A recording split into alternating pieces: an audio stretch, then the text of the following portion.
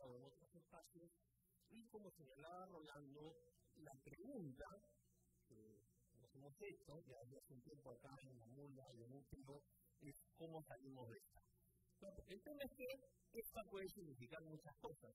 Crisis política, crisis de gobernabilidad, el Congreso, el presidente, ahí cada quien puede interpretar eh, de diferente manera eh, el grado o la escala de la crisis que estamos viviendo. Pero es claro que se necesitan salidas, la ruta no es fácil, incluso creo que todavía no termina de estar claro eh, cuál es la ruta para que Perú encuentre alguna forma de estabilidad política que definitivamente me parece que desde el 2016 la perdimos.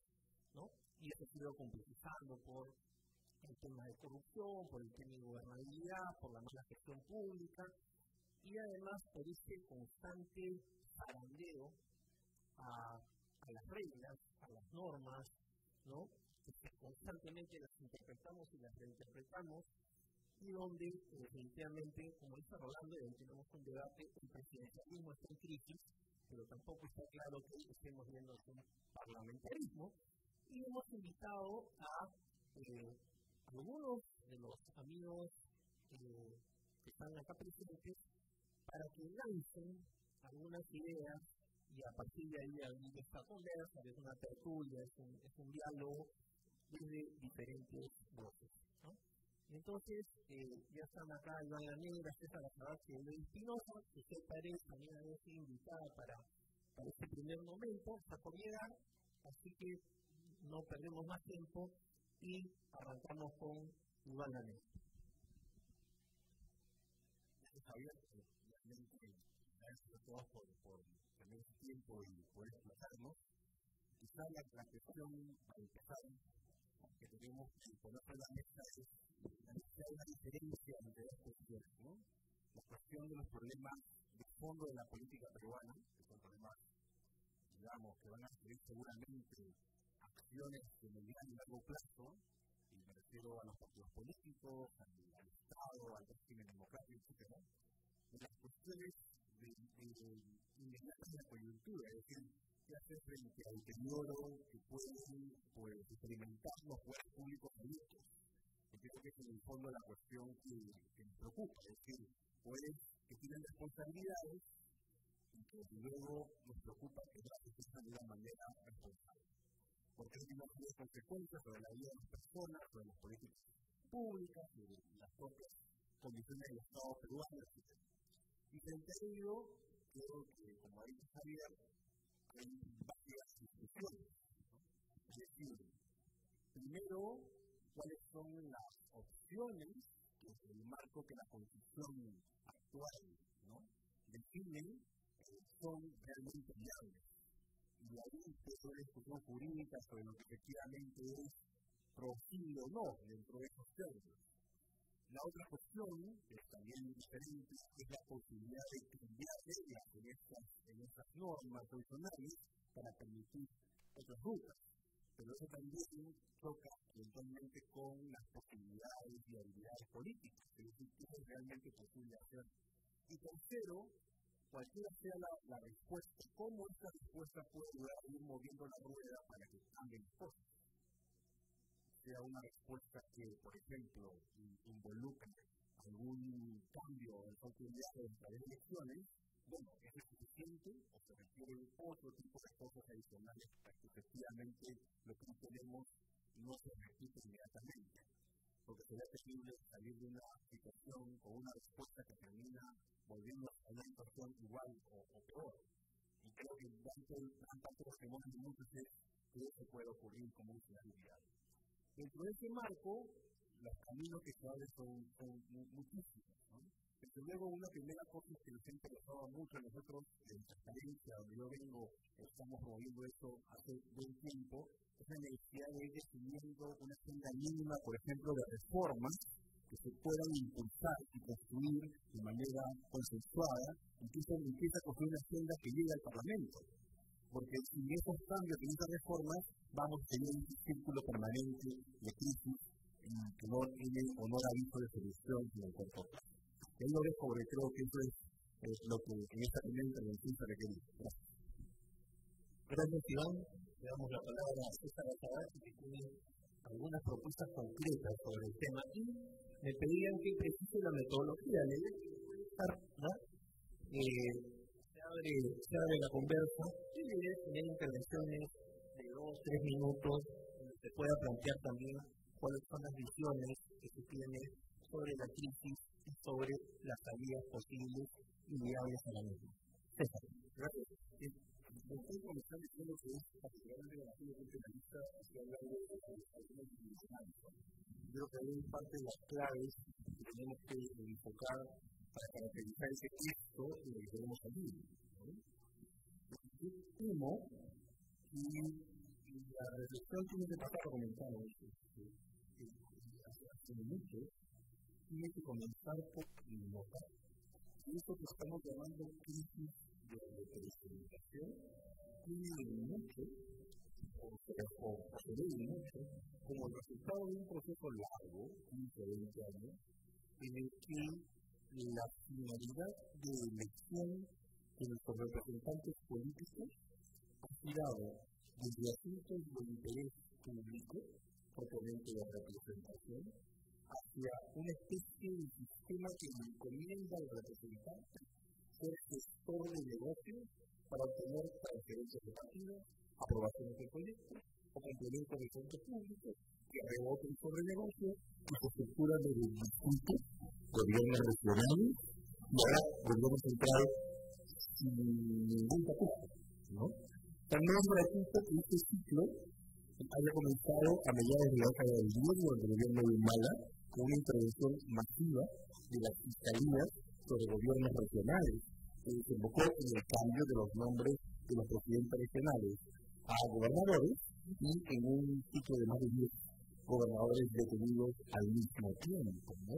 Este periodo que a veces pasa de largo cuando pensamos en el proceso, estamos todos conocidos que este ciclo testigo comenzó en el 16, pero no está ligado al antecedente, ¿no?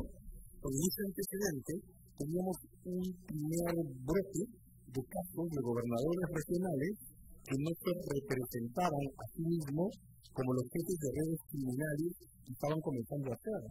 La matriz de los casos de 2015 y 2016 es exactamente la misma que podemos ver ahora en el tráfico de licencias de conducir en el gobierno bancario.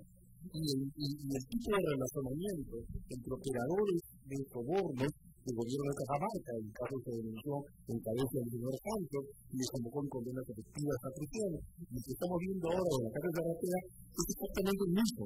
Y la narrativa es exactamente la misma.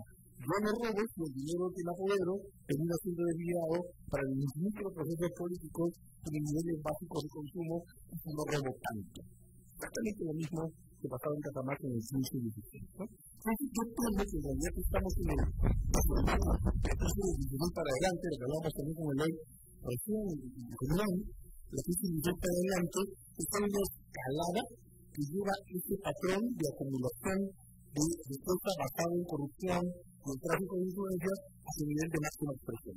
El antecedente de eso es el caso que tiene su contenido primario, exactamente lo mismo con el que vimos en el Congreso ahora, negociación de votos, de votos a partir de la apertura de acceso a una determinada cartera de representantes hacia los espacios de los que transferencias de fondos para proyectos. Entonces, nuestros congresistas, claramente creo ya masivamente, repito, sin tapajes institucionales, se me ocurre una frase que no voy a repetir porque era medio grosera el día del ¿no? Para hablar de los tapujos institucionales, patapata democrática, ¿no? Entonces, ningún tapujo de este tipo, el Congreso, desde el Congreso Cuarto del 20 hasta el Congreso de ahora, están formados por gestores, mayoritariamente gestores de negocios. Claro, entonces una impresión general, la única diferencia entre esto es la dimensión del ciclo. Ahora hablamos de Kinsey, que transa con eh, una bancada para partirla y darle cuota de participación en los posibles a estilo que voten a agitadores de la vacancia. Ahora es presidente manejando la cartera de negocios de la propia red, ¿no? De alguna manera, se expandió los gobiernos digitales, a los regionales, y ahora está instalado el gobierno central. Tiene este negocio con el gobierno central. El gobierno central está negociando. Entonces, digo esto porque, desde mi lectura, abogado, penalista, de litigios, El problema es que no se arregla solo con Castillo. Pero yo creo que Castillo vino igual. El Castillo ya está igual. ¿no? El Castillo ya, perdonen, luego el mayor respeto, el Castillo ya es lo que quería, quería generar el Congreso con la presidencia de Medina. O sea, el máximo esquema de gestión de intereses desembolsados llevados a la máxima. Entonces, bueno, el último cambio, está pensado que cambie, ¿no? El último cambio, vamos a seguir en el ciclo de gestión de negocios por representación. Y entonces la pregunta, la lancé hace poco, de algún lado, la pregunta es, ¿cómo para comenzar con los focos de concentración de esos negociados, vivienda y transporte? Porque seguimos discutiendo el carrera y un montón de cosas, pero en vivienda y transporte la estructura de decisiones para la asignación de cuotas de corrupción y de influencia es exactamente la misma. Muy en broma, pero muy en serio, lancé una vez en la República la idea de poner transportes y también vivienda bajo la lo fiscal. ¿Quieren trabajar en vivienda y transporte? Bueno, tenemos una relación jurada de apertura de cuentas, apertura de teléfonos y vigilancia digital de las oficinas durante todo el día. Y cómo se todos los festivos.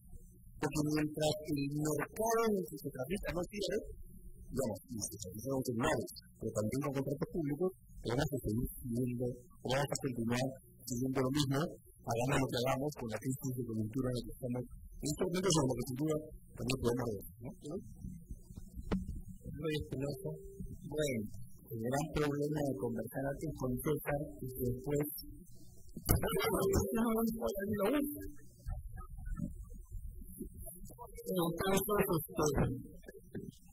bueno, la ventaja que viene con silla propia para poder no, no, no porque la persona no es un tema para tocar, pero más para ver más este, de lado. Entonces, la pregunta es que hay que tener una clara. Hay una dimensión que, parte de un fenómeno que no conseguimos lo que queríamos conseguir cuando se derrota el fujimorismo en el 2000-2001 Toledo, García, resultan gobiernos que no apuestan por un redimensionamiento del país. Y no hay que olvidar, ¿eh? que está olvidando una cosa importante. Hoy ya da la vuelta en este momento. O ya, tenemos un. no cambia la, la clase política y lo que más bien cambia un estilo de en vez de hacer política vamos a hacer negocios a todo nivel y lo que pasa es que esto se ha hecho muchísimo más claro a partir de 2016 y ahora ya revienta por todos los lados. Ahora, esto porque hay que tenerlo presente, porque yo puedo hacer un comentario como profesor de constitucional sobre las fórmulas que se han venido planteando, pero ninguna de esas fórmulas va a llevarnos a resoluciones si no hay un acuerdo básico entre ciertos sectores de la sociedad civil que ponga la mirada sobre la clase política para evitar que hagan lo que han venido haciendo. Aquí la cosa no es tanto si cambiamos a Castillo, a Castillo yo creo que hay que cambiarlo, pero si cambiamos a Castillo y se sigue haciendo política como está haciendo, entonces, en el fondo, la crisis va a venir con el próximo gobernante o con el presidente. Entonces, eso hay que tenerlo claro. Cuando yo digo una vacancia, en realidad no es un mecanismo de control político, no hay los votos para eso, la vacancia es juega más con la lógica de un hecho que objetivamente hace que yo no pueda ser presidente, me muero, renuncio, me, me tetrapléjico, este, me voy del país y no regreso cuando me dicen que regrese, y la invención cuando ustedes pusimos por escrito, cuando en el 2000 se va a Fujimori, todo el mundo indignado para la firma de la constitución de Fujimori, que no sirven de nada. Y este, usamos incapacidad moral. Y a lo que era para el presidente loco, lo convertimos en la puerta para poder hacer cualquier cambio cuando un congreso tiene 53 de, de, militantes y 5 de Estado, que era un voto que era así. Nos hemos, entonces, este, el problema no solamente es lo que hemos visto de la corrupción en el tema de hacer negocios económicos, hago negocios políticos también. Hago negocios políticos también. O sea, el tema de los taxis colectivos, el tema de familia, el tema, no, es, es, es, para que me. No una Entonces, aquí lo que ha pasado es que hemos pasado de una política probablemente de corte aristocrático a una política que cada vez se parece más a un mercado. Con respecto a las figuras políticas destacadas y destacables que están aquí, por las cuales son gente que sí de respeto. Pero, pero en líneas generales es eso. Entonces, claro, si tú vas a plantear un adelanto de elecciones, vámonos con cuidado. ¿Por qué? Porque no es el escenario del 2000, no es el presidente que ha renunciado la clase del fujimorismo avergonzado renuncia a sus vicepresidencias y a su presidencia del Congreso eh, y los congresistas aceptan cortar su mandato y nombran a un notable, pero que no les iba a ser problema como figura política después de una elección posterior, y, tenemos Panagua. No tenemos eso. Si queremos acortar las elecciones, hay que pasar por un supuesto que es muy claro. El presidente no quiere irse y hay algunos congresistas que no quieren. Entonces, la es la pero entonces, si no vamos a tener claro cuáles son los problemas, no nos sirven de mucho algunas cosas. Ah, alguien dirá, la propuesta que estaba manejando aquí el amigo, esto sí no lo hemos conversado ahorita, eso es, eso es el pasillo cuando vamos a los canales, pero este, vamos a agarrar la norma eh, es la Convención contra la Corrupción y vamos a hacer interpretación convencionalizada, entonces el, eh, la, la, Fiscalía de la Nación le va a poder pasar el paquete a la, la Corte Suprema y el Congreso se va a quedar mirando y en el mejor de los casos va a hacer una suspensión del presidente. ¿Qué crees que el Congreso se va a quedar mirando y se le hace una suspensión al presidente? En ninguna parte del mundo un Congreso que una decisión tan importante como la destitución de un presidente quede a cargo de los órganos políticos. Y además, en los, los tiempos políticos son siempre más cortos que los tiempos judiciales. Porque vas a mandar el paquete a Cheque, y Cheque va a tener que ser el trámite aforado. O sea, Cheque va a resolver y después van a haber unos meses más de ya no está quitando el mito, entonces unos meses más donde vas a tener un grupo de sistemas van a resolver y esa decisión vas a tener que convalidarla porque la clase política no participa en la asunto. ¿Qué más tienes? ya vamos al famoso artículo 99 diciembre. El antejuicio lo único que te permite es poner en la puerta del 2026 o del año que está en la posibilidad que la acusación fiscal pueda discutirse. Y eso no es una discusión inmediata. Todos hemos visto que entre las dificultades que tiene el Ministerio Público las dificultades que tiene el Poder Judicial, realmente recién están el inicio del. Entonces, ¿qué hacemos en el interior? Porque la antecedente no significa al presidente. El presidente es el juicio político la mala actuación en su cargo. Sí, ese es el mejor camino técnicamente, pero hago la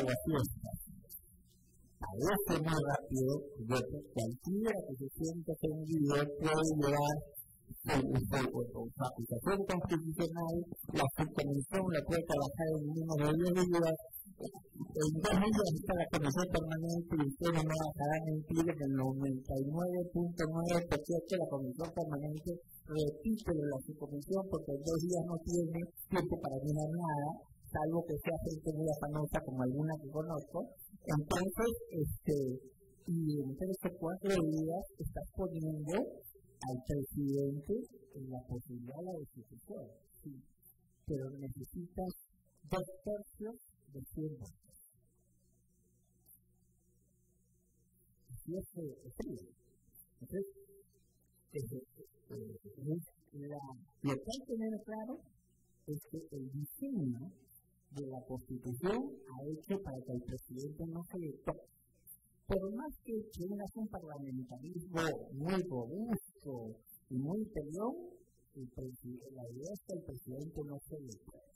Entonces, mover a un presidente no es asunto fácil.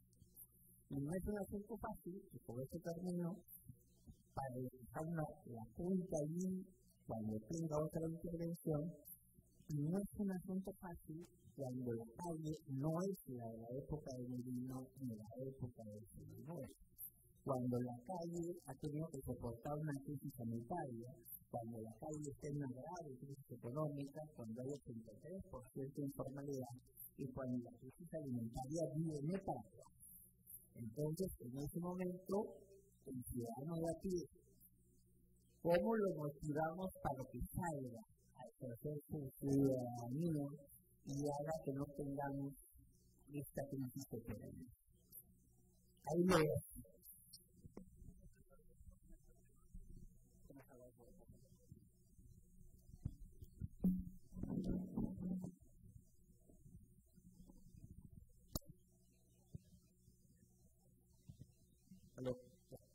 Eh, en primer lugar, se han planteado varias entradas.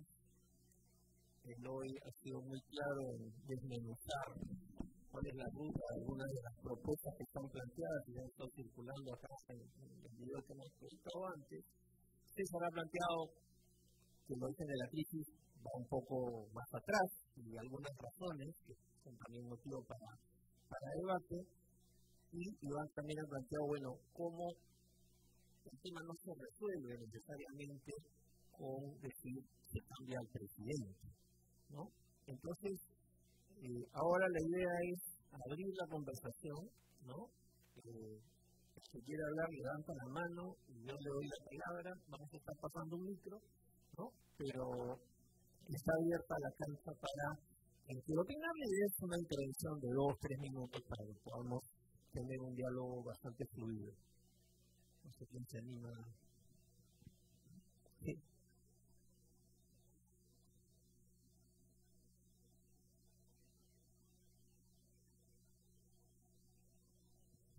Hola.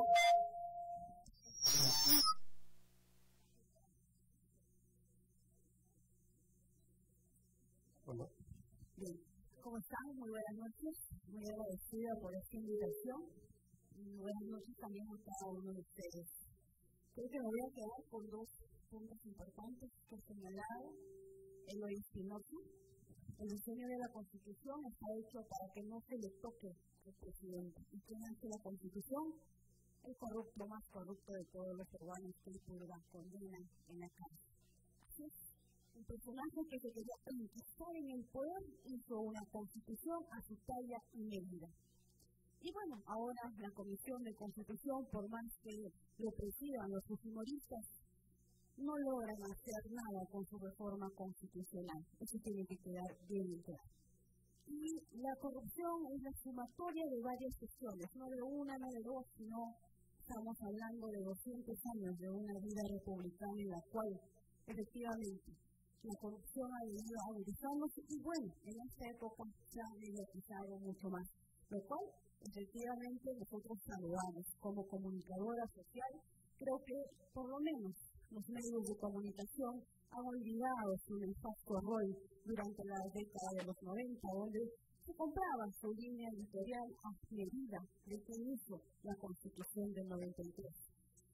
Pero también creo que la salida no es ir a nuevas elecciones. Ya hemos tenido presidentes, hemos sacado a presidentes y la crisis continúa. El Estado peruano ya no puede reformarse, tiene que pasar por un cambio estructural, es decir, escribir una nueva constitución política para, como decía Eloy Espinosa, no sea diseñado para defender a presidentes corruptos.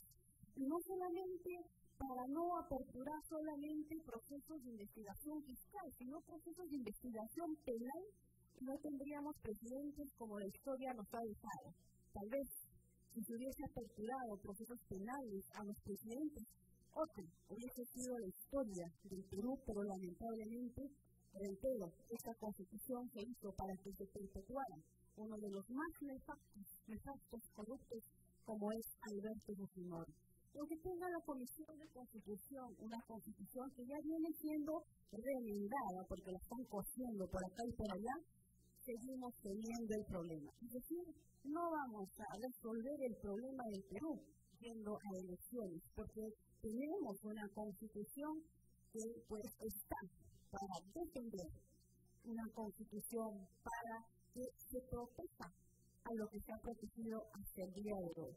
Yo planteo más bien que el presidente de la República o el Congreso convoque a la Asamblea Nacional Constituyente Plurinacional Paritaria y se escriba una nueva constitución en donde el pueblo debidamente representara y no solamente los políticos escriban la nueva constitución política, sino que también estén ahí los pueblos originarios de los Andes, de la Amazonía, los afroperuanos, los profesionales, los jóvenes, los partidos políticos y nos sentemos a escribir una nueva constitución donde no proteja más a corruptos como ya lo han señalado. Y asimismo también revisemos los contratos ley que han perjudicado al Estado peruano. Yo vengo de una de las regiones donde tiene un distrito más pobre del Perú, Uchiraján. Extrema pobreza. Hemos hablado de un boom de la economía minera y yo no veo que en región se haya logrado el desarrollo de esos pueblos. Pueblos que hasta el día de hoy, imagínense, no toman agua potable como ustedes, quienes están acá incómodos sentados, por lo menos toman agua potable. Entonces, también en todo caso, como el Estado peruano ha venido beneficiando a un cierto grupo de personas y postergando siglos por siglos a otros pueblos como vienen a ser los pueblos provincianos de los Andes y las Amazonas. Creo que debemos dejar el lado solamente a utilizar a los hermanos de los Andes y la Amazonía como estadísticas es momento de hacer reales políticas públicas para beneficiar a ellos. Reitero, la única salida y cómo salimos, como dice eh, este, este programa o esta actividad, es que se convoque a una Asamblea Nacional Constituyente, plurinacional, paritaria, y que sea representado no solamente por políticos, sino por el pueblo debidamente organizado. Ahí estaremos saliendo realmente de esta crisis estructural, no más reformas, basta de reformas, 200 años reformando la República y estamos en este momento caótico. Muchas gracias. Gracias, la congresista Palacios. Carlos Anderson, congresista yo quiero concordar con mi colega Manuel Palacio. Efectivamente, la Constitución, que se refiere al presidente, fue diseñada para competir a un corrupto. Y el grave problema que tenemos ahora es que corremos el riesgo de perpetuar a otro corrupto. Ahí estamos, exactamente donde comenzamos. No creo, por supuesto, que la respuesta sea una asamblea constituyente, por lo menos no como la pinta libre y sus, y satélites, porque esa idea de, un país plurinacional donde representado por este, no sé, profesionales, sindicatos, por una serie de gente que básicamente cuando uno hace las cuentas, resulta pues que, hay quienes tienen doble, triple voto, ¿no? Un afroperuano que además es sindicalista y que es, este, qué sé yo, ciudadano común, tendría prácticamente una triple representación. Entonces, no, yo creo que, hay que tomar el toro por las astas y hay que diferenciar, como dijo también la señora Negra, eh, los momentos. tenemos una crisis ahora, en este instante, y efectivamente hay que tener consideraciones de carácter de mediano y de largo plazo. Pero en este momento tenemos una amenaza clarísima sobre la democracia, porque tenemos un presidente acorralado que no tiene ningún, pero ningún escrúpulo en utilizar los mecanismos del poder para defender a su familia, para defender a sus a, los votos y, funcionarios corruptos, ¿no? Entonces, este, tengo que comenzar por ahí. Yo sí soy de la idea de que utilizando un mecanismo absolutamente constitucional como es la vacancia, que tenemos que proceder por ese lado. Además, también, 13 meses después de tener una serie de hechos, cada uno de los cuales tiene una serie de, de connotaciones de carácter, de carácter jurídico legal, y que a su vez tienen una dimensión de carácter político, moral, creo que cuando uno empieza a concadenar una con la otra se da cuenta de que aquí no hay ninguna duda de que efectivamente el presidente carece, realmente de autoridad, de capacidad moral, y que esa, esa incapacidad no es casual ni eventual, sino es permanente. Así que la lucha viene por ahí, y creo yo que parte de la tarea que tenemos quienes pensamos de esa forma es sacar un poco al, al, al fresco a quienes toman posiciones un poco diferentes, disfrazándolas este, de manera marquetera, ¿no? Porque si alguien está dispuesto a, por ejemplo, decir, bueno, adelanto de elecciones, me parece genial. Yo también, yo no tengo ningún interés en quedarme ni un día más en un congreso donde efectivamente también puedo, puedo comprobar que, que priman los intereses privados, donde realmente parecía que estuvimos en un bazar hay muchísimas ocasiones en las que yo estoy, en las que voto de manera solitaria, ¿no? Porque veo, pues, veo el business, veo el negocio, porque yo soy hombre de negocios. Paradójicamente, siendo hombre de negocios, creo que soy uno de los pocos que no hace negocios ahí. Entonces, sí, aquí hay mucho, muchísimo que cambiar en, en, el país, pero entonces, quienes están dispuestos, por ejemplo, adelante de elecciones, deberían estar dispuestos también a proseguir a votar a favor de la vacancia porque la vacancia, de manera eventual, eventualmente, va a llevar de todas maneras a que nos vayamos todos y volvamos a empezar. Gracias. Gracias al congresista Carlos Anderson. Está abierta la. Hemos escuchado dos posiciones distintas de congresistas de la República y la idea es seguir conversando sobre las diferentes propuestas que hay en la.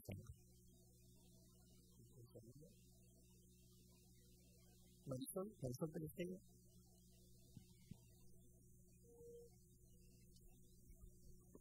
Gracias, eh, buenas noches. Muchas gracias por la, por la invitación y por este esfuerzo de juntos con nuestras distintas formas de, de ver la vida podamos buscar una solución pacífica para el país. Yo quiero pasar parte de dos premisas que para mí marcan el hilo de, lo que quiero compartir hoy con ustedes. ¿no? Primero, creo que hay que buscar una salida que sea lo menos dramática posible en términos de sangre. Yo creo que lo que tenemos que buscar es que la solución no termine con gente enfrentada en la calle matando.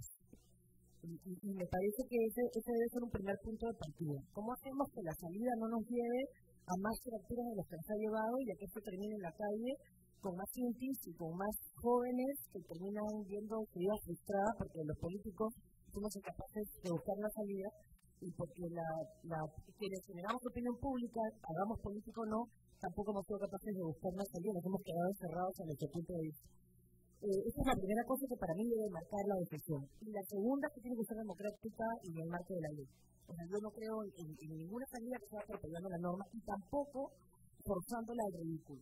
Y en ese sentido, con todo respeto que nos ha planteado, yo creo que ir, por ejemplo, por la salida, aunque tenga los votos de la atención a la patria, esto me parece que, que, no le haría bien al país, que no, que no tiene fundamento y que no, no le haría bien en realidad todos nosotros. Por supuesto, las personas que lo han presentado, tengo relaciones de amistad y afecto con muchas de ellas, pero me parece una barbaridad.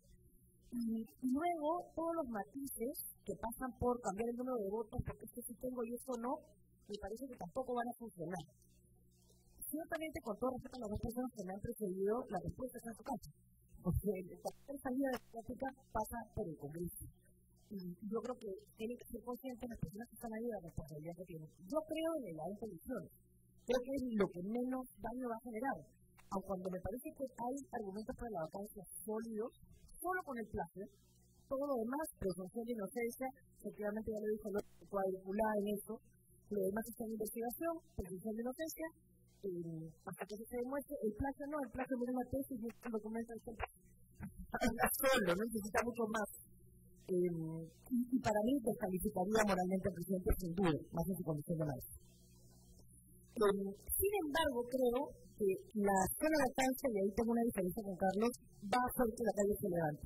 Yo creo que efectivamente la calle no se ha levantado por un montón de cosas. Primero porque esto falta un líder, esto es pedida. Pero empezó a de borregos. La gente tendría que comenzar a luchar por la defensa de su país y de lo que cree, y no porque cuatro personas lo llaman o cuatro personas le alejan dándole gobernabilidad a Castillo. Yo creo que lo, que lo que no hay es una movilización como la del 5 de abril, que tampoco se la debemos a nadie, más que a la indignación ciudadana legítima. Yo creo que eso lo estamos perdiendo ahí. Para concluir, creo que la salida tiene que ser lo menos dañino posible. No creo que hoy sea un momento constituyente. Creo que la congresista Margot puede tener razón y que necesitamos revisar la constitución por pericia, por todas las razones que han mencionado. No creo que este sea el momento. Se han hecho cosas a nivel del Ejecutivo que son muy peligrosas. El tema de los bomberos, por ejemplo, es peligrosísimo.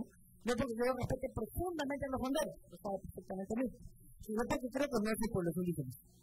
Ya la ley para incluir a los, a los bomberos como pueblos indígenas en una base en, en registros públicos va a generar sangre todas maneras, y cuando se tenga que elegir quiénes son los pueblos indígenas que van a ir a esa constituyente, eso va a ser peor agua. Y lo peor de todo es que acá no nos vamos a enterar.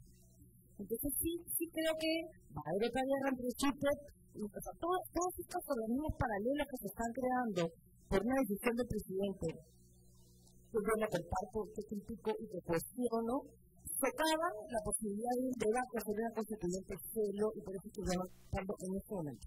Podemos discutirlo más adelante, sí creo que los parques no son sensatos, pero creo que lo que hay que hacer ahora es resolver este problema y enfrentar en paralelo el otro que viene. Y es que el presidente Castillo es consecuencia de una crisis, no genera la crisis.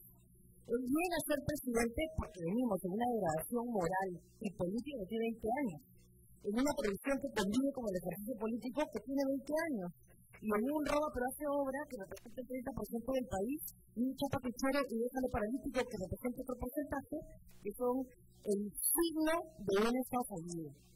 Y eso ha permitido que una persona como Castillo, con un discurso que saca lo peor de nuestra sociedad, porque sí, pues somos un país racista, sí, pues sí somos un país que vive espaldas a las regiones, y lo digo yo como carneña, como portopaneña, porque trabajo en Chirajal, porque trabajo en Puti, y porque creo que eso nos hace un daño terrible. Pero él es consecuencia, no es causa. Y las causas siguen ahí, la seguridad de la próxima elección, y esto tendríamos que pensar en paralelo. Gracias y perdón a veces gracias, Marisol. Eh, Hernando Ceballos, que está a tu costado. Gracias. Primero agradecer la invitación y saludar a todos los amigos que están aquí presentes. Bueno, la verdad es que todos coincidimos en que hay una situación de verdad muy grave, como que estamos entrampados y no ve con claridad cuál es la salida, ¿no? Ahora, yo creo que tenemos que ver la cosa un poco en perspectiva, ¿no? Porque, claro, vemos una serie de denuncias que tiene el presidente y su entorno y deben investigarse sin ninguna duda, porque esto tiene mucho que ver con la necesidad de tener un ministerio público y un poder judicial que realmente sea efectivo, que es lo que la ciudadanía percibe que no ha, tenido en los últimos 30, 40 años en el país. Ahora, creo que este tema hay que verlo de verdad en perspectiva, y esto quiere decir que no podemos creernos de que el problema del país empieza realmente con Pedro Castillo y que la elección, el adelanto de elecciones va a resolver un problema que no solo es un tema de presidentes eh, corruptos o con denuncias de corrupción, que a ser de paso, no empieza con Castillo, todos lo sabemos. Lo que nos viene indicando la situación es que tenemos un Estado que no controla en nada los ilícitos y la corrupción, pero algo todavía más grave y que no lo podemos dejar de lado y que tiene que ver también con la elección de Pedro Castillo y con la respuesta que vemos ahora de la ciudadanía en relación con este ataque interesado sobre el gobierno que no va eh, enfilado a resolver la situación, sino en pasarle una factura al presidente de la República. Y es que el problema no solo es que el profesor Castillo ha sido parte o no ha sido parte de un grupo que se apropió de algunas obras de la Biblia. Y tiene muchísimo más profundo. Y es tan profundo que todavía no terminamos de evaluar hasta dónde hemos caído y que nos ha mostrado, por ejemplo, la pandemia, que somos como país 30, 40 años de crecimiento y esa situación para nuestro pueblo. Entonces, creo que sí, el ministro de que recorrido la mayoría de las regiones, yo no sé cómo podemos tener autoridad moral para mantener esta república, este país tal como está. ¿no? Realmente, o sea, acá hay niños que están en la zona frontera hay que tardar 20 días para llegar allá y seguramente no hay ninguna posibilidad si se enferman de poder vivir. Un país donde tenemos más del 70% de la, de la población en la informalidad, sin un aseguramiento cuando lleguen a la vejez. Un país terriblemente injusto. Entonces, decir que acá el problema se resuelve con adelantar las elecciones para que volvamos a elegir otro presidente en el marco de los parámetros electorales, políticos, del Estado que tenemos, va a ser lo mismo, exactamente. Y lo que el pueblo está pidiendo y la realidad que la tenemos que medir, porque la elección del presidente Castillo nos muestra también que este sistema está agotado. Este sistema no le ha dado respuesta a la mayoría de los peruanos y que es necesario pensar efectivamente en refundar este país, refundar esta república. ¿Pero quién lo va a hacer? ¿Lo va a hacer este Congreso? ¿Lo va a hacer este Ejecutivo? Y cuando la persona empieza a tomar decisiones que nadie termina de entender, lo tiene que hacer el pueblo. Y tenemos que entender, yo ahí sí siento personalmente con el congresista Anderson, de subestimar la participación de las organizaciones sociales, populares, campesinas, de los pueblos indígenas. Hay que abrirle las puertas del país para que opinen, para que decidan. Y efectivamente, esto tiene que ver, en primer lugar, con un cambio constitucional. Esta constitución ha demostrado que promueve la corrupción y que elude derechos, pero no la corrupción solo de los presidentes. La corrupción general que existe en el país y que incluye un sector empresarial absolutamente corrupto en este país. Yo creo que lo de Castillo nos muestra que efectivamente necesitamos recorrer un proceso de cambios profundos, estructurales en el país. Y no podemos mirar las cosas con un solo ojo, tratando de mirar la realidad que vemos más allá de, lo que es divino. ¿no? no, realmente reflexionemos cómo está viviendo la gente en este país, la falta de derechos, lo que fue la educación en la pandemia, es un desastre. ¿no? La cantidad de gente que ha tenido problemas mentales fruto de la, de la pandemia porque no hemos tenido un Estado capaz de enfrentar este tema de manera resoluta. Lo que hemos tenido es un sector que se ha aprovechado de la pandemia para agudizar la crisis. La elección del presidente Castillo es el fruto del reclamo de ese pueblo. Le cuestionamos a Castillo que no ha explicado bien su programa. ¿Y cómo ganó las elecciones? ¿Por qué ganó las elecciones? Porque las contradicciones han agudizado en este país desde hace muchos años y no tomamos la decisión de los cambios que necesitamos en el país.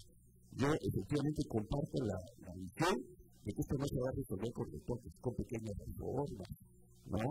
Y también que necesitamos un rumbo común, con mucha grandeza, para salir desde el entrampamiento con un plan mínimo, pero un plan mínimo que tiene que devenir sin ninguna duda de cambios estructurales. El cambio central estructural que necesitamos, más allá del plan mínimo, es el cambio constitucional. Yo no quiero pasar lo que dice la congresista Maricel porque acá va a haber un enfrentamiento, perdón, de los congresistas. Efectivamente va a haber un enfrentamiento, este, y que va a pasar, y va a pasar, porque la gente no va a permitir que lo bajen a Castillo sin que se vaya al Congreso. No lo va a permitir. Vamos a entrar en un desgaste y una agonía institucional ¿no? que va a mostrar cada vez más claramente la descomposición de este Estado. Hay que tomar la decisión de un cambio profundo, estructural en este país, porque es la única manera de poner realmente soluciones a este tema. Gracias. Eh, Juan Ceballos, eh, Carlos Anderson ha pedido 30 segundos. Producción, producción. Y luego le damos la bienvenida a César Paredes y luego te doy la palabra. Primero para, para, para aclarar, este Marisol, ¿no? Este, mi posición siempre ha sido con la vacunación y básicamente casi de inmediato ir a las elecciones federales. Sí, porque sencillamente el país, efectivamente, concuerdo, nadie va, nadie va a soportar a un Congreso este, que va con un presidente. Yo, esa es mi condición desde el primer día. ¿Ok? Uno, dos. No subestimo este, a los gobiernos populares, nada. Por el contrario, este, la valoro muchísimo. Lo que sí me preocupa es la manipulación grosera que se hace de ellos. ¿no? Esas asambleas, este, esas supuestas este, reuniones de ministros a lo largo de todo lo alto y largo del país, donde básicamente se preselecciona a quienes van a estar allí para hacerlas básicamente un, un ejercicio, digamos, de, de, a ver, cierre del Congreso, cierre del Congreso. Yo sabes que, por ejemplo, también me sorprende mucho de, de, de, de quienes, por ejemplo, dicen, no, queremos mejorar el país, queremos vivir en la verdadera democracia, pero una verdadera democracia sin Congreso no es verdadera democracia. Es cualquier cosa menos verdadera democracia. Gracias eh, al congresista Carlos Anderson y le vamos a dar la palabra a la congresista Giselle Paredes, eh, que nos va a plantear también su, planteamientos en torno al tema de discusión. ¿Cuánto tiempo tenemos? Les habíamos dado siete minutos a... a Cinco, como, como no tenía ya, me dado un minuto, entonces ya. No, más Entonces, esta crisis comienza cuando Keiko pierde y dice, vamos a votar a PP. Entonces estamos en, en ese proceso todavía que no ha concluido. Y yo sí responsabilizo plenamente a la falta de dignidad para perder de Keiko Fujimori estar en este estado. Ella abre la caja de Pandora, PPK renuncia, a diferencia de este presidente que nunca va a renunciar, porque tiene otra concepción del que la de PPK, entonces PPK renuncia. Y empieza esta, eh, este círculo vicioso del que todavía no salimos y que de repente no saldremos, porque si hay nuevas elecciones y Antauro postula y Antauro gana, pero déjame decirte yo a Carlos. Y entonces el pueblo peruano es una ilustración del mito del Sísifo, donde cada tanto tiempo sube la piedra y se la cae otra vez, y otra vez la sube, y otra vez, y así. Pero encima de él. Encima de él. Entonces, esa es nuestra tragedia. Ahora, esta crisis coyuntural de hoy mismo es corresponsabilidad del Congreso. Por eso a mí me parece una frescura decir la vacancia solamente, porque eso implicaría que nosotros no estamos siendo corresponsables ni asumiendo nuestra responsabilidad como congresistas. Yo soy una loca denunciante de Juan Silva. No, no entendía, yo decía, voy a Juan Silva, y, y, ya no me dio tiempo para hacerlo. Pero si no hubiera, si hubiera tenido capaz me metía con los dos pero no teníamos, entonces había que escoger las batallas y era obvio desde el primer día. Juan Silva dijo, yo tengo brevete, por eso puedo ser ministro. Y entonces dijo, voy a desactivar a Citral, voy a desactivar la ATU. ¿Y eso qué significaba? Más muertos en las carreteras, más muertos, pobres en las carreteras. Entonces, eso vimos en septiembre del año pasado. Y entonces el Congreso miró a cualquier parte. Miró a cualquier parte. Eso era un grano, ahora es la viruela del mono.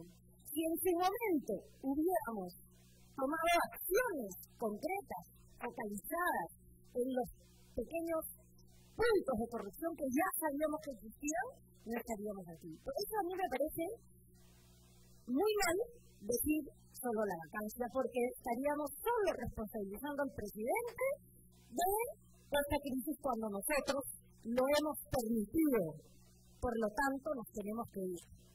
Entonces, y el adelanto no soluciona las cosas, por supuesto, pero hay un montón de proyectos en la Comisión de Constitución que tendríamos que discutir en espacios como este.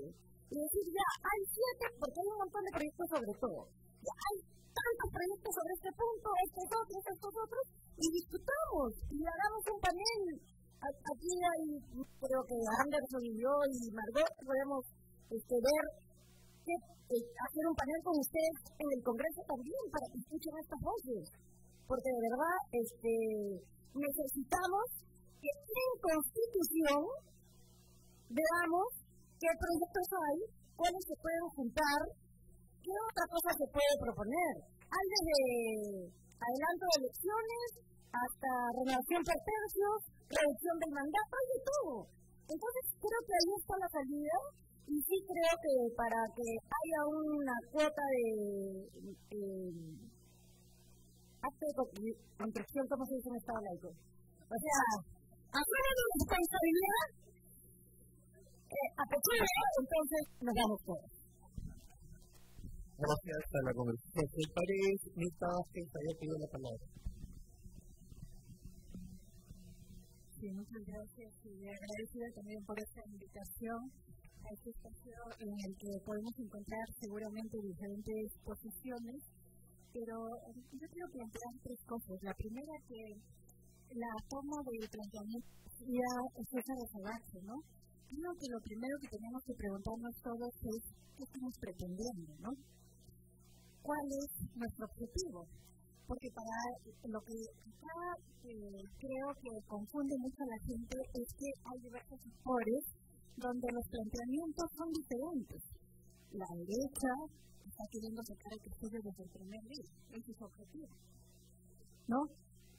Eh, hay otro grupo que lo que quiere es que, claro, se vaya el, ejecutivo por corrupto, que yo, porque este ejecutivo no le gusta, está gestionando, cómo está gestionando el Estado en general. Eh, hay otro grupo que quiere que se vaya al Congreso, y en el fondo lo que queremos, y acá ha habido eh, intervenciones que lo han mencionado, eh, realmente lo que hay que hacer conciencia es que probablemente lo que tenemos que perseguir es una cuestión de fondo.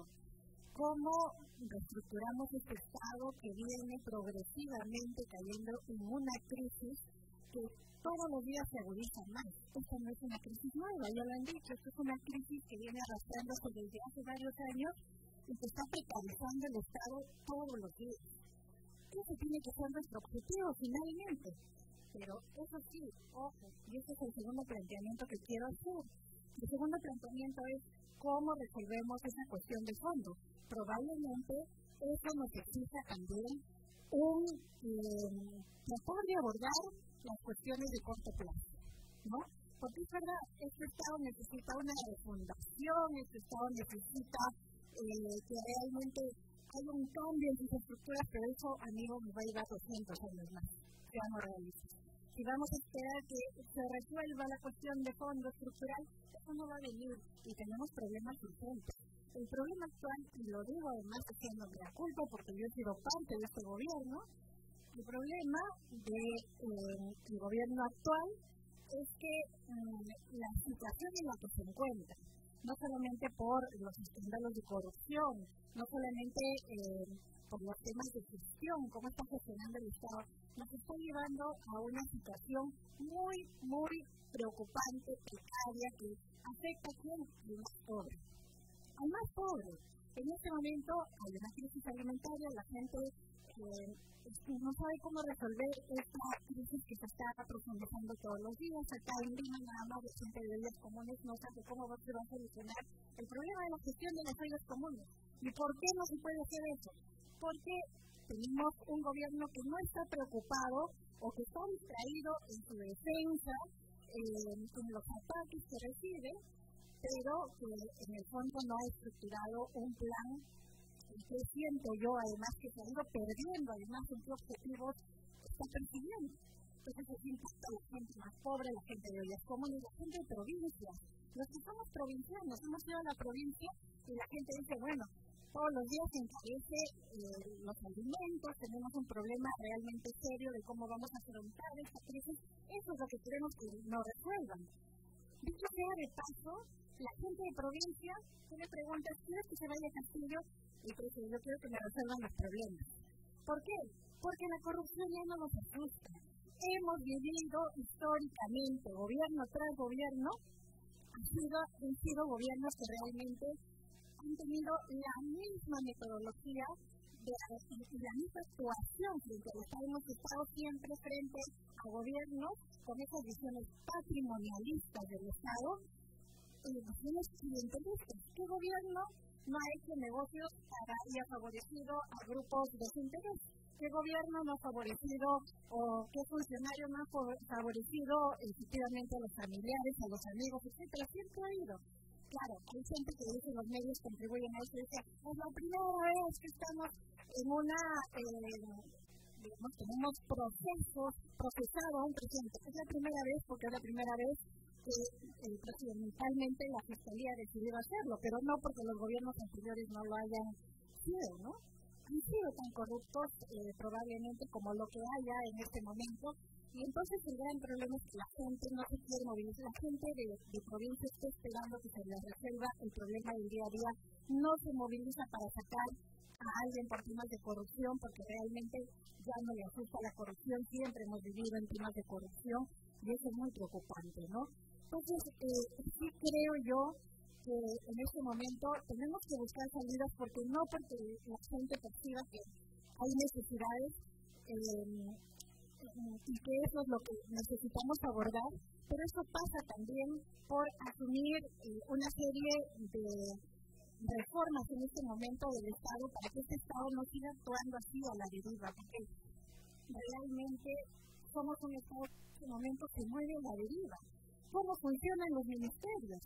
Y lo decimos varios que nosotros hemos estado aquí participando del gobierno, hemos sido ministros, etcétera, y cada día más lo que sentimos nosotros, porque nos enteramos de, de, fuente directa, es que los ministerios caminan en piloto automático, porque nadie está dando la dirección. Y eso tarde o temprano, y eso está llegando y está afectando a la gente más pobre en salud, en alimentación, en educación, ¿no? Y ahí hay muchas eh, coincidencias, digamos, del Ejecutivo con el Congreso, ¿no? Están embarcados en generar una serie de, eh, digamos, llevar adelante propuestas, en lo que sí coinciden es en propuestas que están afectando a la gente más pobre de este país, más vulnerable de este país, ¿no? Entonces no podemos seguir con este gobierno, no solamente con un ejecutivo que camina así, sino con un legislativo que cubre todo esto, cubre impunemente con las disculpas de los congresistas que se encuentran acá, porque no es una cosa personal, por supuesto, es el Congreso como institución. Entonces, eh, es el Congreso como institución que está favoreciendo que este tipo de gobierno en esta situación. Entonces tenemos que encontrar una salida de corte clase también. O sea, no podemos lavarnos las manos y decir, este Estado necesita refundarse el gran problema ya es histórico, entonces esperemos 200 años más. No, nuestra responsabilidad también, moral, ética, a quienes hemos asumido ciertos, ciertas funciones, digamos, en el Estado, es que encontremos una salida y ahí podemos mirar varios es legítimo el tema de pensar en adelanto de elecciones, es legítimo pensar en este momento, por ejemplo, en renovación por tercios, es legítimo pensar en un recorte de mandato, eh, pero también pensando que las soluciones de corto plazo tienen que ser realmente soluciones que traten de ser lo más integrales posibles. Que se vaya un presidente no va a solucionar nada no va a solucionar nada. Es una parte del problema. Yo también comparto la idea de que el Congreso tiene gran responsabilidad. porque Es un problema que se ha generado y no solamente con este Congreso, ya viene progresivamente. Con tanta modificación constitucional, como dice el doctor Eloy Espinosa, ¿no? Hemos tenido 45 modificaciones constitucionales. Ya su constitución es esta, no ya es cualquier cosa. Entonces se ha violado todos los principios que nos enseñan en derecho, el principio de la rigidez constitucional, no, no existe eso. Todos eh, los congresos, si se les ocurre, modifican la constitución, modifican, modifican, no es cualquier cosa. Es legítimo pensar en que necesitamos probablemente pensar en una nueva constitución, pero eso también requiere de un momento constituyente, y ese momento constituyente que la gente también sienta y comparte, estemos en un escenario, no como el que estamos ahora, de confrontación, de tratando de salir de un problema agudo, agudo de gobernabilidad. Entonces hay que mirar cómo caminamos hacia eso. Pero efectivamente, en este momento, por ejemplo, por tanta modificación constitucional, ¿quién tiene más poder? Aunque somos un régimen este, en teoría presidencialista, mixto, ahora el Congreso tiene el mayor poder, ¿no? El mayor poder. Se han desbalanceado los, eh, los eh, pesos de, los poderes, y eso es peligrosísimo para un Estado de Derecho. Entonces, ahí necesitamos pensar, vuelvo al tema de soluciones de corto, de corto plazo, soluciones de largo plazo.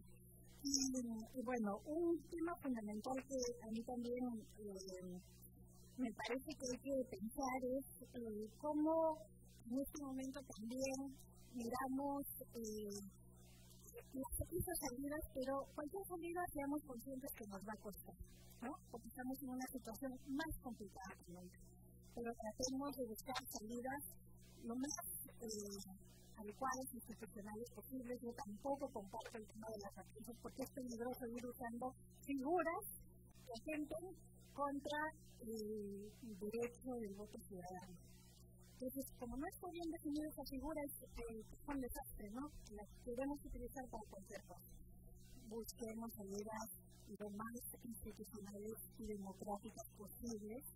Eh, pensemos siempre que esto no depende solamente de las voces de la gente líder, que incluso eh, está muy presente es importante esas miradas, pero en la provincia, la gente que todos los días está sufriendo los impactos, y creo que también tiene que ser escuchado en estos procesos, ¿no?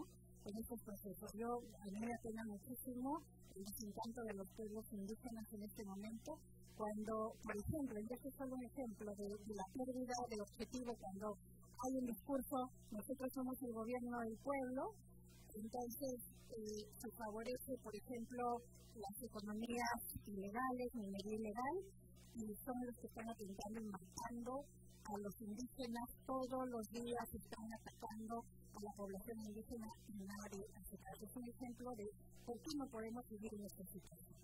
Muchas gracias. Gracias, Mirta. Eh, han pedido la palabra Sofía Máster y yo, José Élice. Un segundo nomás voy a hablar. En la misma línea de, de Mirta, ¿no? O sea, una, un, una pastilla positiva. Si yo veo de, en perspectiva 20 años desde que se cambió el régimen de 10 años de Fujimori, sí hay avances. O sea, por lo menos empezamos a tener visión de quiénes están robando la plata. Antes no se sabía, la, la robaban debajo de la mesa. Ahora hay juicios, hay tienes un poder judicial con toda su precariedad, pero ahí está, tienes una fiscalía con toda su precariedad, pero ahí está.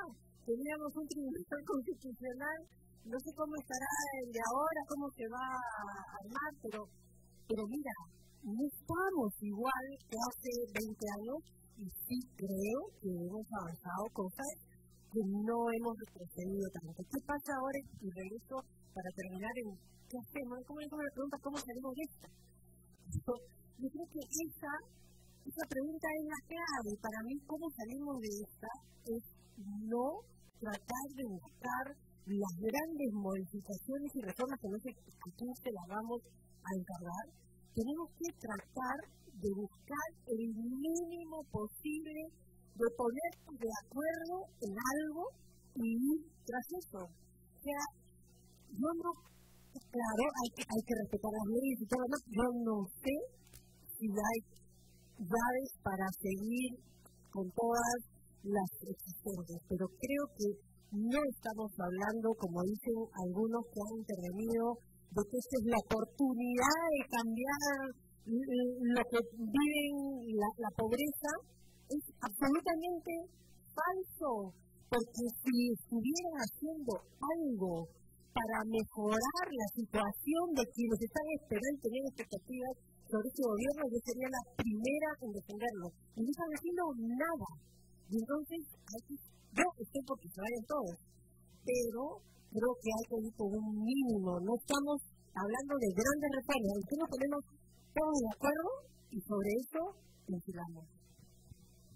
Sofía, Muchas gracias. Y en primer lugar, gracias por la invitación. Ya casi todas nos hemos saludado. Yo creo que todo lo que se ha avanzado hasta este momento en cuanto a las intervenciones es sumamente valioso. Y creo que sí, como que se va abriendo un camino para llegar a acuerdos mínimos, esos acuerdos que necesitamos ahora. eh, tenemos un problema, por supuesto, central, que es realmente pensar y definir qué cosas hacemos con nuestro país. Eh, responder esto es responder interrogantes que se han generado, por supuesto, no en el último año, ni siquiera en los últimos 20 años, sino a lo largo de muchos años en nuestro país. Y la pandemia, lo que nos ha mostrado, lo que ha estimulado, es lo que antes prescribíamos, sabíamos o prescribíamos a ver. ¿no? Estábamos peor de lo que pensábamos. ¿no? Eh, la calidad, el nivel de los servicios públicos, la corrupción, eh, los problemas de gobernabilidad, todo se, mostró de, manera realmente dramática. Y en frente a eso, cualquiera sea su posición en el espectro político, no haya visto no haya concluido en que es necesario hacer un cambio profundo, pues yo no sé para dónde está mirando o dónde estuvo. El Perú sí necesita cambios. Entonces, ¿cómo vamos hacia esos cambios?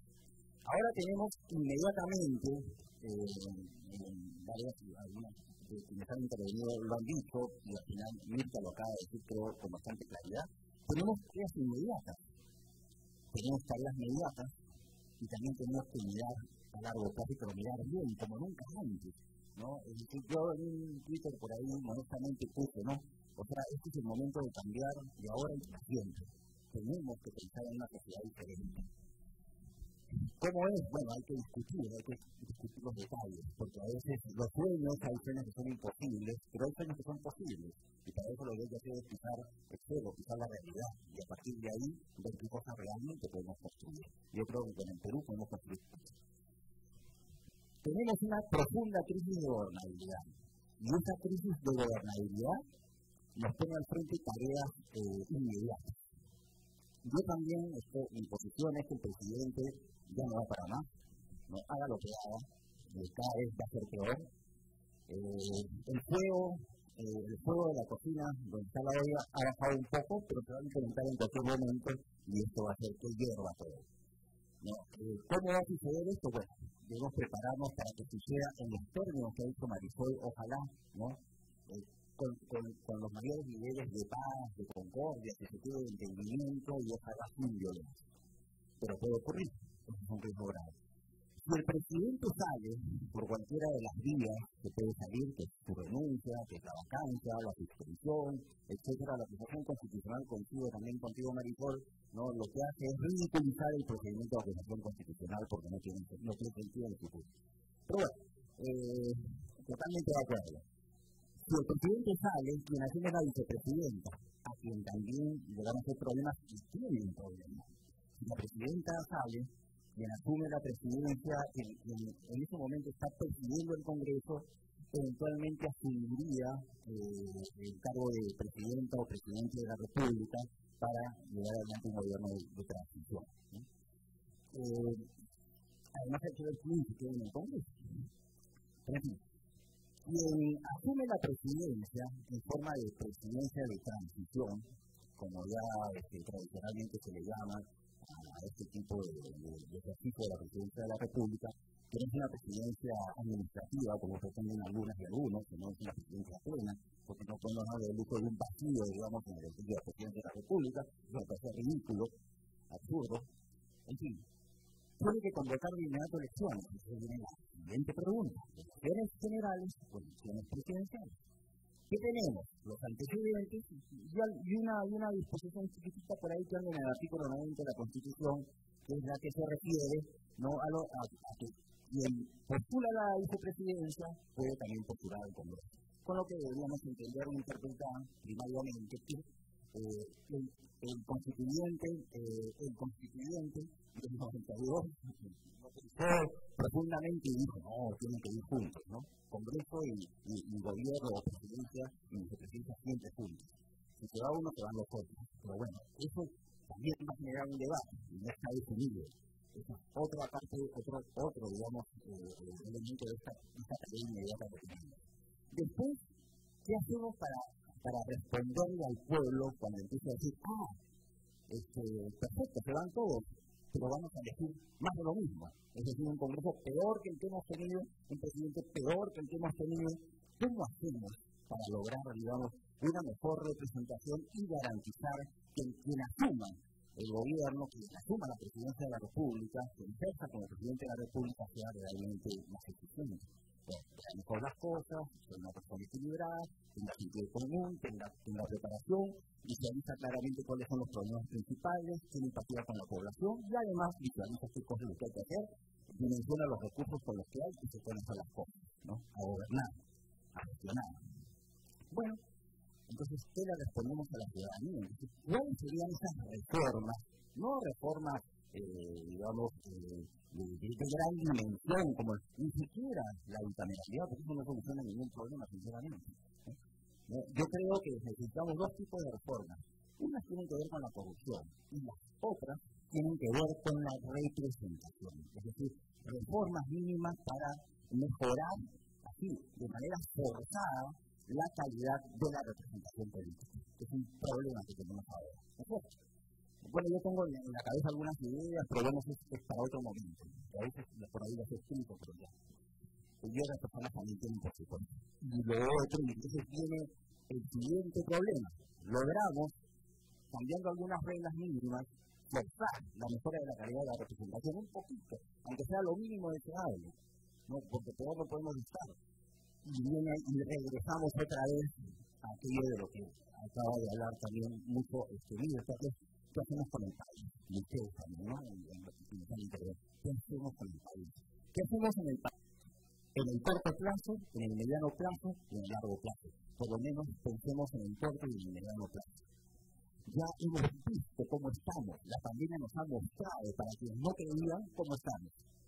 Ya más o menos deberíamos saber qué es lo que hay que hacer yo creo que no puede costar demasiado ponerse de acuerdo. Y por último, ¿puede una última anotación?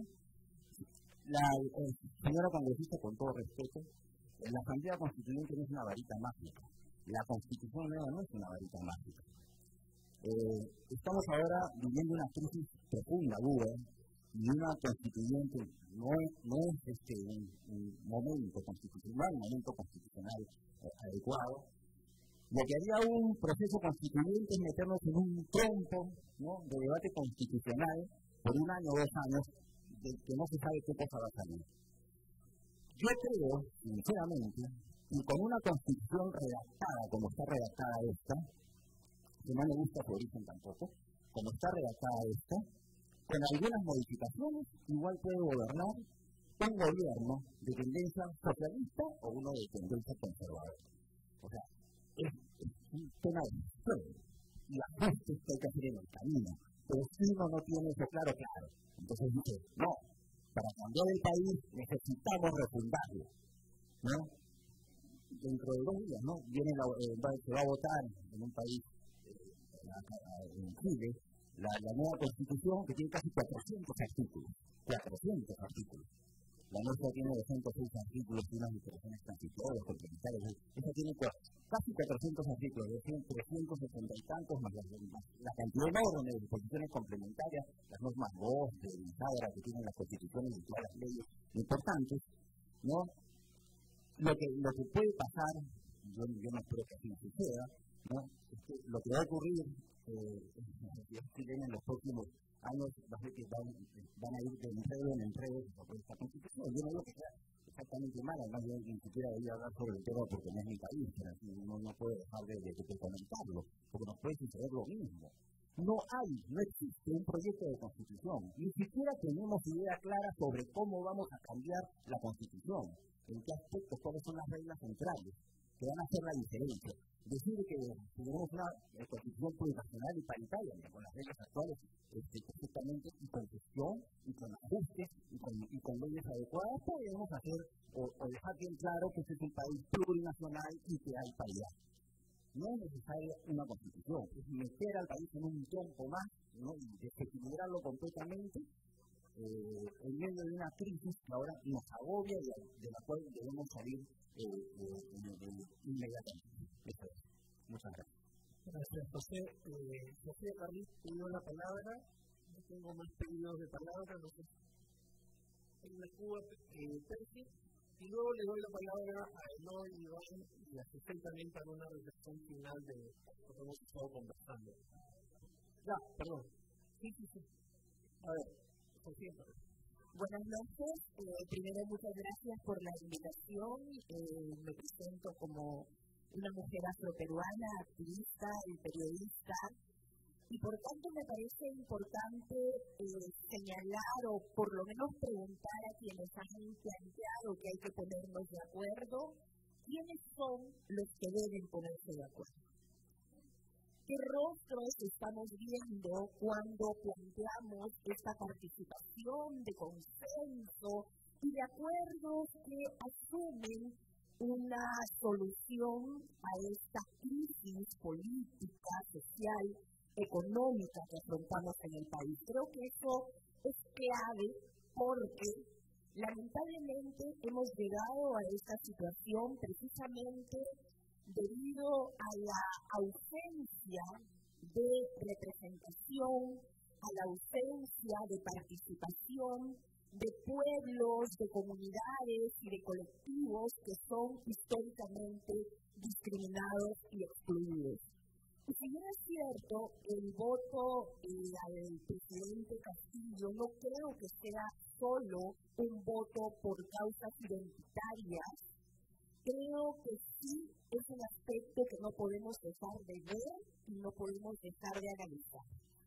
Yo creo que la gente sí se ha indignado en los últimos años por la corrupción. No creo que estemos tan acostumbrados a esto. Es más, pienso que el antifujimorismo y el voto antifujimorista fue precisamente este rechazo a la corrupción que representaba esta candidatura.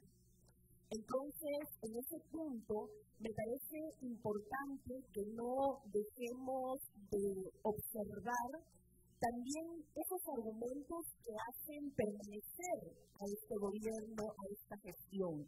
Esos argumentos que aluden de manera permanente al racismo, al clasismo, y que hay muchas personas que se sienten también identificados con este discurso, porque lo viven, porque lo sienten, porque es real. Lamentablemente también hay que reconocer que hay una instrumentalización de la lucha antirracista, de las luchas de los propios movimientos indígenas, afrodescendientes, en este gobierno y en distintos sectores, incluyendo el Congreso de la República. Porque si el Ejecutivo o el Congreso de la República realmente asumiera que el racismo es un problema en este país, hubieran presentado mínimamente alguna propuesta legislativa o habían propuesto algo concreto para luchar contra esta situación. Entonces, me parece que no debemos perder de vista este punto cuando planteamos los cambios. Las marchas han sido convocadas para precisamente plantear la vacancia o la salida del presidente Castillo no han tenido una respuesta y han sido criticadas así por blancas han sido criticadas porque hay una ausencia de poblaciones empobrecidas, indígenas, afrodescendientes. Y eso es algo que ustedes, representantes del gobierno, del Estado, del Congreso, también tienen que asumir. Y quienes estamos en estos momentos, debemos también quizás plantearnos alguna pregunta desde la sociedad civil creo que hay demasiada fe en el Estado.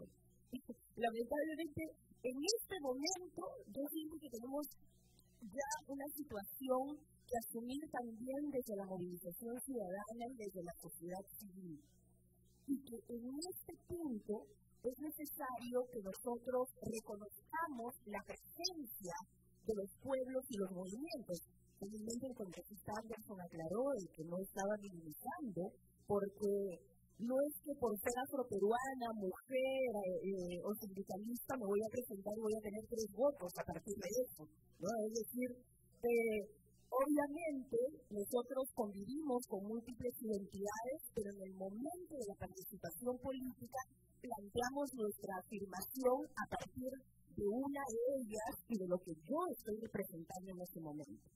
Entonces, también hay que, tener mucho cuidado con eso porque hay que respetar los procesos que hay en las comunidades y en los pueblos. Y los movimientos indígenas existen. Las organizaciones afroperuanas existen, los activistas afrodescendientes existen. Seguramente tendremos también que hacer algunas reflexiones al interno, porque no es posible que en estos momentos no hayamos alcanzado un consenso básico para tener una representación afro-real. La participación de congresistas afros en estos momentos no te plantea que tengan una agenda. Lo mismo podría ocurrir con indígenas, lo mismo ocurre con mujeres. Entonces, en este punto en estas reformas, en estos cambios en estas salidas, deberíamos también considerar toda esta situación. Particularmente, tampoco estoy de acuerdo con la vacancia. Creo que hay otras salidas que se han planteado y que son interesantes y que deberían permitirnos que los que históricamente no están, no existen para este país, no existen para los congresistas, no existe para el presidente ni para los ministros, tengan realmente la posibilidad de ser y de tener una vida digna y precisamente una voz que sea reconocida y que deje de ser minimizada e invisibilizada. Gracias, El congresista Margot Palacios había pedido la palabra, luego Guillermo Flores Bordo. Ahí está. Luego Elmer Pescinevina y pasamos al panel. Sí, muchas gracias. Una intervención breve. Eh, esta constitución de 93 no reconoce a los pueblos afroperuanos. Con eso creo que queda muy claro que ha sido un Estado discriminador. Un Estado que tiene 200 años sin y un Congreso de la República que va a cumplir 200 años y que no ha tenido representantes indígenas y de los pueblos originarios. Entonces, con eso estamos hablando bien claro. Quienes han hecho las políticas de gobierno, quienes han hecho las leyes, ha sido pues una casta aristocrática que ha despojado a estos pueblos. En el censo del 2017, más del 25% de los 23 millones de peruanos se autodefinen como andino, amazónico y afrodescendiente. Entonces, si estamos en un momento constituyente, por supuesto que sí. Ese momento constituyente no lo va a dirigir el presidente de la República ni el Congreso de la República. Se puede hacer paralelamente. Pero ya busquemos esa representación que le falta a esta república, que debe terminar y debemos dar paso a otra etapa en el cual realmente quienes siempre fueron excluidos, y como esto no es un ánimo de sentirse pues uno victimizado, uno antisocial o uno que, que reprocha, pero lamentablemente esta es la realidad. Hay que darle espacio a quienes por 200 años no han tenido ni siquiera la facultad de elaborar leyes para sus propios pueblos. Entonces, ¿dónde estamos? Aquí, ¿Por qué le tenemos miedo a la Asamblea Nacional Constituyente? ¿Por qué? ¿Dónde están andinos, amazónicos, afrodescendientes, los políticos también, los jóvenes, los profesionales? Todos vamos a estar ahí. Eso no va a detener al pueblo peruano, se va a hacer de manera paralela y escucharemos las voces de todos los pueblos. Tenemos más de 50 pueblos originarios y este Congreso, y no solamente este, sino los anteriores, ¿Ha habido alguien de este pueblo originario? ¿Lo ha habido? No lo ha habido. Entonces, creo que no digamos que ir y convocar a una asamblea constituyente va a traer o va a derramar sangre. Señores. Yo estoy más convencida que es la salida que se quiere quedar. Porque ahí nos vamos a ver representados todos.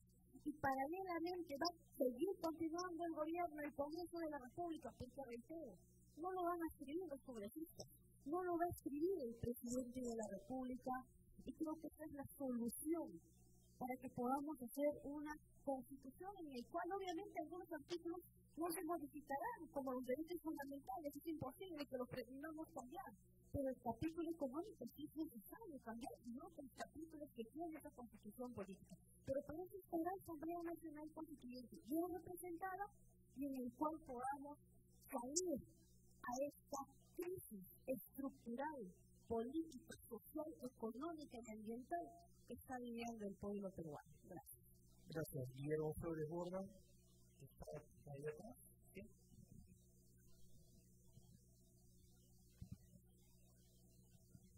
Noches. Eh, hablo también en nombre del Partido Morado. Me, eh, me va a pedir aquí el presidente del partido, Luis Durán, no Julio Guzmán, por supuesto. Eh, oye, profesor, yo creo que tenemos que también pensar sobre las razones por las cuales la gente no marcha. O sea, yo creo que escucho muchas razones, pero creo que también tenemos que pensar sobre las razones únicas, ¿no? De plano, o sea, yo como, eh, como muchos quizás aquí votamos por Pedro Castillo, yo no voy a votar por Pedro Castillo. Mis abuelos eran peones, podría entender o podría creer que una persona que era hijo de un peón podría entender otra realidad que no creo que se haya visibilizado antes.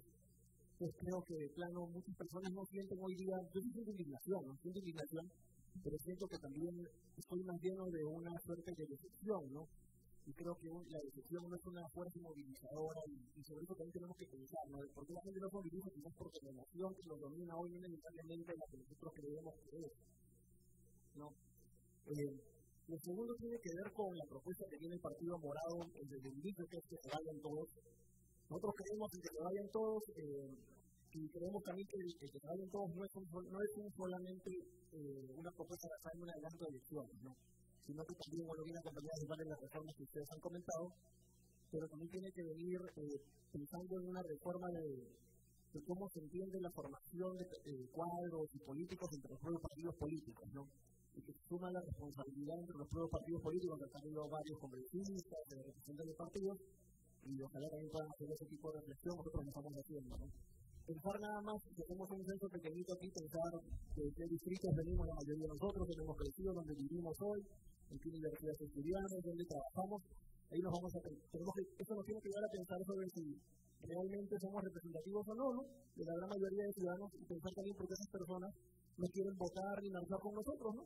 De repente tengamos que pensar sobre las razones por las cuales, eh, no quiero decir que sea un tema netamente identitario, pero creo que sí tiene que ver un poco con cómo, cómo cada persona se refleja en un político, ¿no? Porque un político al final no solo es un voto, ¿no? O sea, la gente tiene que pensar, yo voto en alguien, eh, hay una forma pragmática, pero quiero que lleve un tipo de voto pero en realidad la gente también vota en términos de identidad y de los valores que siente que esa persona representa, ¿no? Las políticas al final están representadas por personas y valores, ¿no? Entonces pensar también, o sea, si hacemos una reflexión así al interior de nuestros partidos, nos, nos, tenemos que poner a pensar sobre si realmente pues eh, la culpa será la ciudadanía de repente de nosotros y la oferta que nosotros mandamos, ¿no? O sea, si construimos partidos en que siempre son las personas sí mismos, sector social, eh, o quienes han construido su capital político y pensar de qué manera lo han construido, ¿no? Porque construir partidos eh, pensando en candidatos que han construido su capital a través de,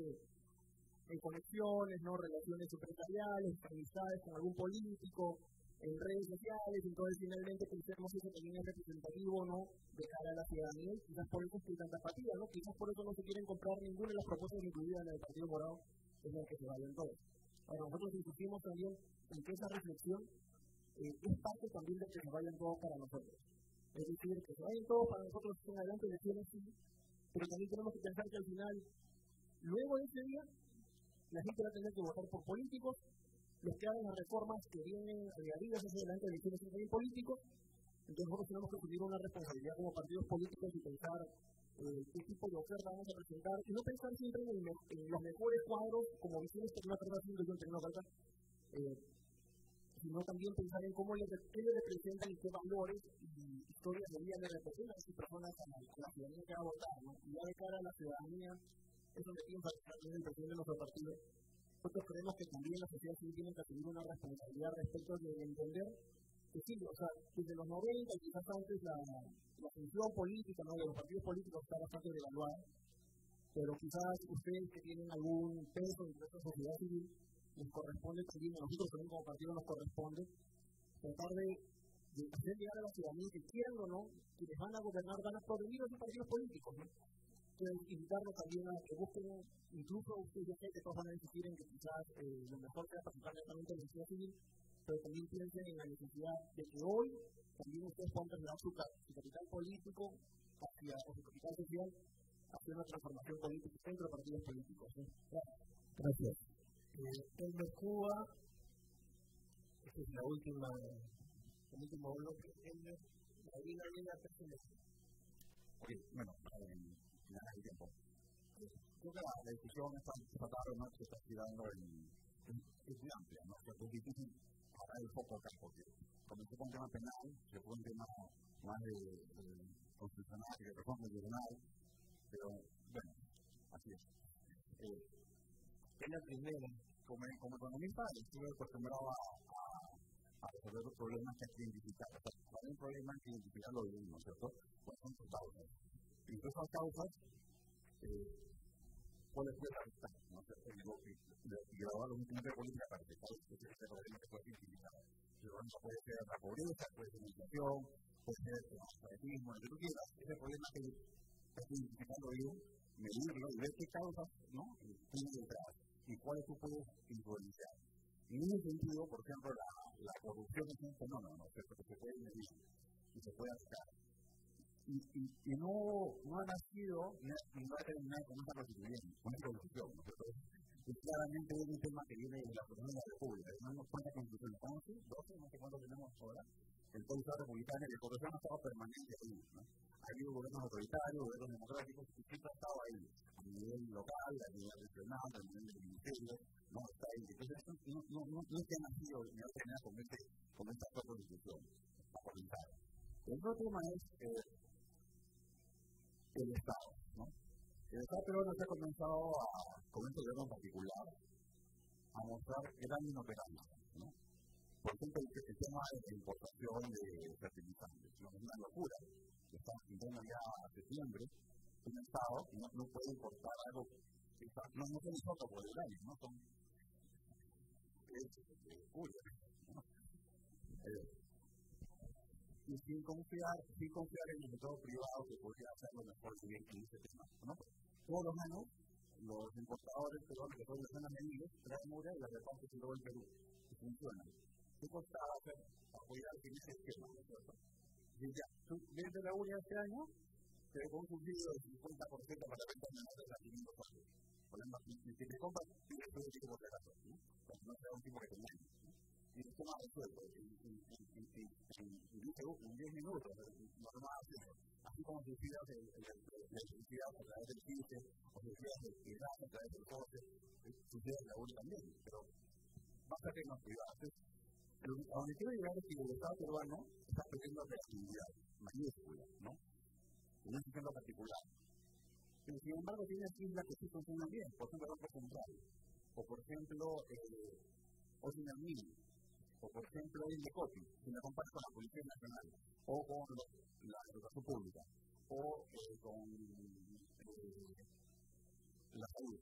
Algo está fallando. O sea, ¿Cómo el Estado no puede tener la institución de educación mundial o buenas en la región y la respuesta está porque al frente de esas, instituciones públicas que sí funcionan, este sector privado no ¿no? Si no hubiese hecho el EBC, lo va a porque no puede ser encima de ese pero sí, sí funcionar ese ministerio de educación tan malo. Entonces, ¿qué está detrás de esto? Que no hay gente que representa a, a, a esos miles de, de, de gente que representa el servicio público no se organiza para mejorar el sistema de educación pública o de salud pública. Entonces, la democracia está mostrando ahí sus fallas. ¿no? ¿Quiénes deberían realmente representar a estos tipos que son mal servidos? El Congreso. esta función es clave. Llamar al, a ministro que tenga cuenta que no puede hacerlo de que no, o la que de acuerdo.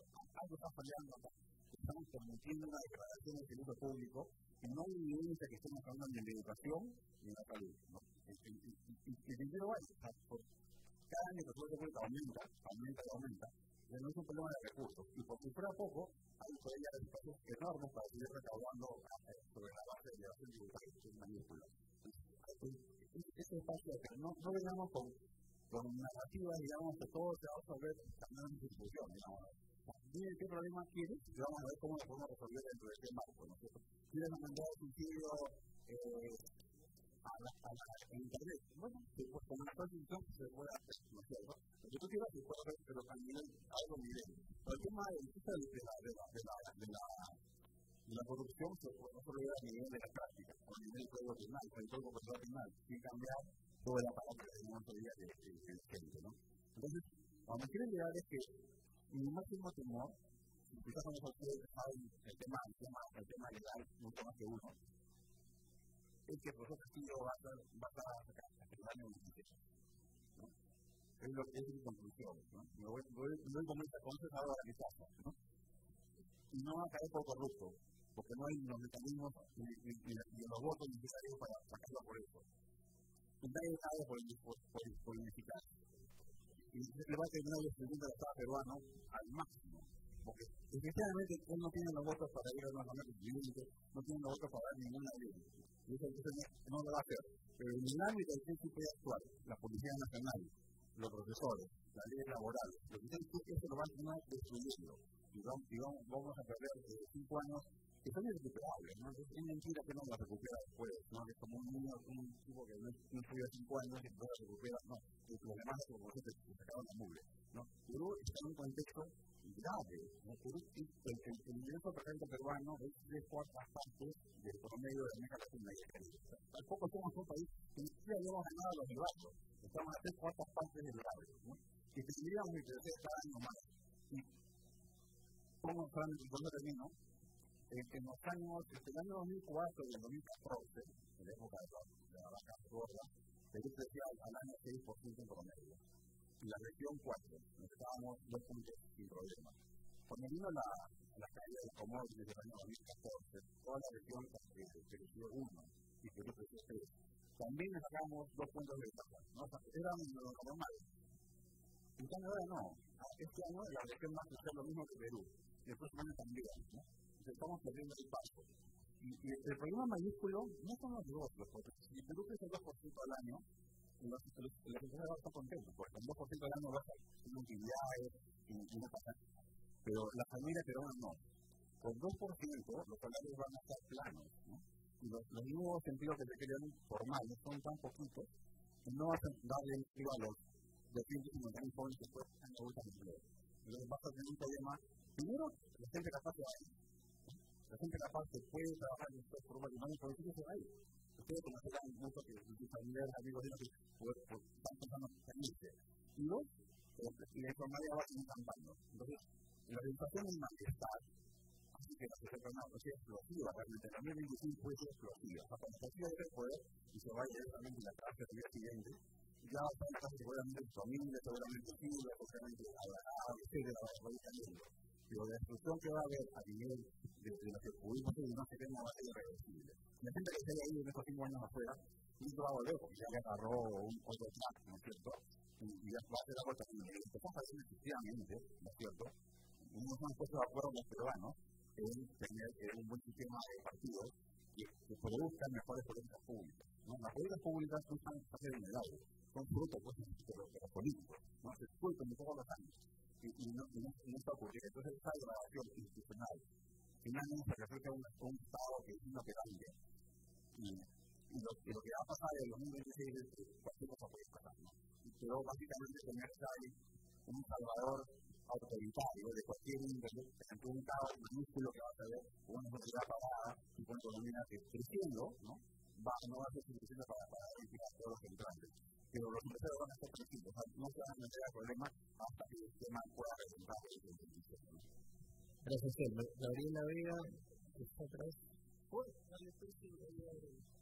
Muy brevemente, muy brevemente, eh, quisiera eh, aludir a, a, un tema que creo que es central en el telón de fondo de toda esta crisis, y es el colapso del sistema de partidos. Yo creo que no, el colapso del sistema de partidos está en el origen de, de todo este problema y cualquier salida que se pretenda dar a, esa crisis va a ser absolutamente estéril si que no se atiende el problema de fondo, porque vamos a perpetuar, como ya varios han dicho, el, el problema. Entonces, me parece que es indispensable un, acuerdo político entre los políticos destacados y decentes que tenemos que los haya. Eh, ahora ha habido varios aquí eh, opinando para construir partidos. Si no construimos partidos, no vamos a resolver el, problema de fondo. No se ha inventado otra manera de articular la representación, de articular intereses, de convertir las demandas en políticas públicas, etcétera. Entonces, me parece que es un asunto urgente, que no, que no puede quedar para el después, ¿no? que se va a realizar en el largo plazo, pero que tiene que empezarse ya, porque si no, va a ocurrir lo que también ya se ha visto, ¿no? El 26 vamos a repetir la misma historia o antes o lo que sea quienes no estamos en partidos tenemos que colaborar activamente porque los políticos construyan partidos. Yo creo que no podemos mirar al costado porque es una tarea fundamental del país y los, los políticos deberían también intervenir muy activamente en qué reglas se requieren para tener mejores partidos políticos. No, no para hacer más fácil el ejercicio de la política. Y este creo que ha sido uno de los problemas de muchos de los líderes políticos que han pensado que las normas sobre partidos les complican la vida y que lo que hay que hacer es facilitarla. Y creo que no se trata de eso, se trata de hacer reglas adecuadas que regulen la acción política. Y, ahí me parece que hay una tarea que eh, no se está dando con la intensidad que, el tema requiere. ¿no? Pero esa especie, Gabriel Vega, por favor. Sí, creo que ahí sí, y yo estamos bastante alineados y probablemente muchos nos estamos aquí. Mi intervención iba a ser justamente para hablar sobre organización política. Y creo que una de las cosas más complicadas es que de manera muy natural eh, orgánicamente no eh, hablamos de partidos políticos y buscamos generar soluciones que puentean un problema que no queremos atender. El hecho de que Guillermo haya sido el primero en, manifestar que su opinión iba eh, representando un partido político sonaba como, como, como fuera de lugar, ¿no? Eh, a todos los que están aquí presentes que han adelantado, incluso los que están en un cargo ejerciendo en este momento, no necesariamente hablan representando a un colectivo. Y creo que una de las cosas fundamentales para hablar de este tema es recuperar la idea de los partidos políticos como organizaciones y colectivos políticos. Nos da asco, nos molesta, nos incomoda la idea del partido político, pero no es otra cosa que colectivo. Si bien efectivamente no existe democracia contemporánea en lado occidental que funcione sin partidos, en realidad no existe democracia que funcione sin colectivos, porque el Estado, ni los representantes, ni las políticas públicas van a poder ser hechas a medida de los millones de individuos que somos. Necesitamos estar organizados y Sofía hizo una intervención muy importante para hablar de la forma en que en la sociedad civil ya sí se organizan algunas demandas o algunos colectivos alrededor de temas de identidad o de problemas comunes. El tema es que tenemos una crisis de representación y justo hace un momento hablábamos con, con Pepe de, digamos, entran nueve bancadas y salen trece, como en el 2016 en el partido, en, el Congreso de la República, en el 2006. Ahorita entramos con nueve, ya vamos por trece también, si no me equivoco. 14, ahí estamos. Eh, y claro, se va multiplicando y se atomiza esa representación y, y nadie representa a nadie. Y en un, en un tener una discusión en la que nadie representa a nadie es imposible llegar a acuerdos. Porque podemos estar aquí sentados todos nosotros, pero ninguno de nosotros representa necesariamente a un grupo mayor. Y podemos tener eh, toda la intención y la experiencia, y los conocimientos o la reflexión. El hecho es que la democracia lo que vamos a necesitar es que existan colectivos. Y en esa idea de que sin colectivos no se puede hacer, tampoco se puede hacer en agencia. Hemos hablado de una crisis que tiene que ver con eh, normas, que tiene que ver con valores, que tiene que ver con estructuras, que tiene que ver con políticas públicas, pero en, esencia también tiene que ver con un cortísimo plazo que tiene que ver con personas tomando decisiones.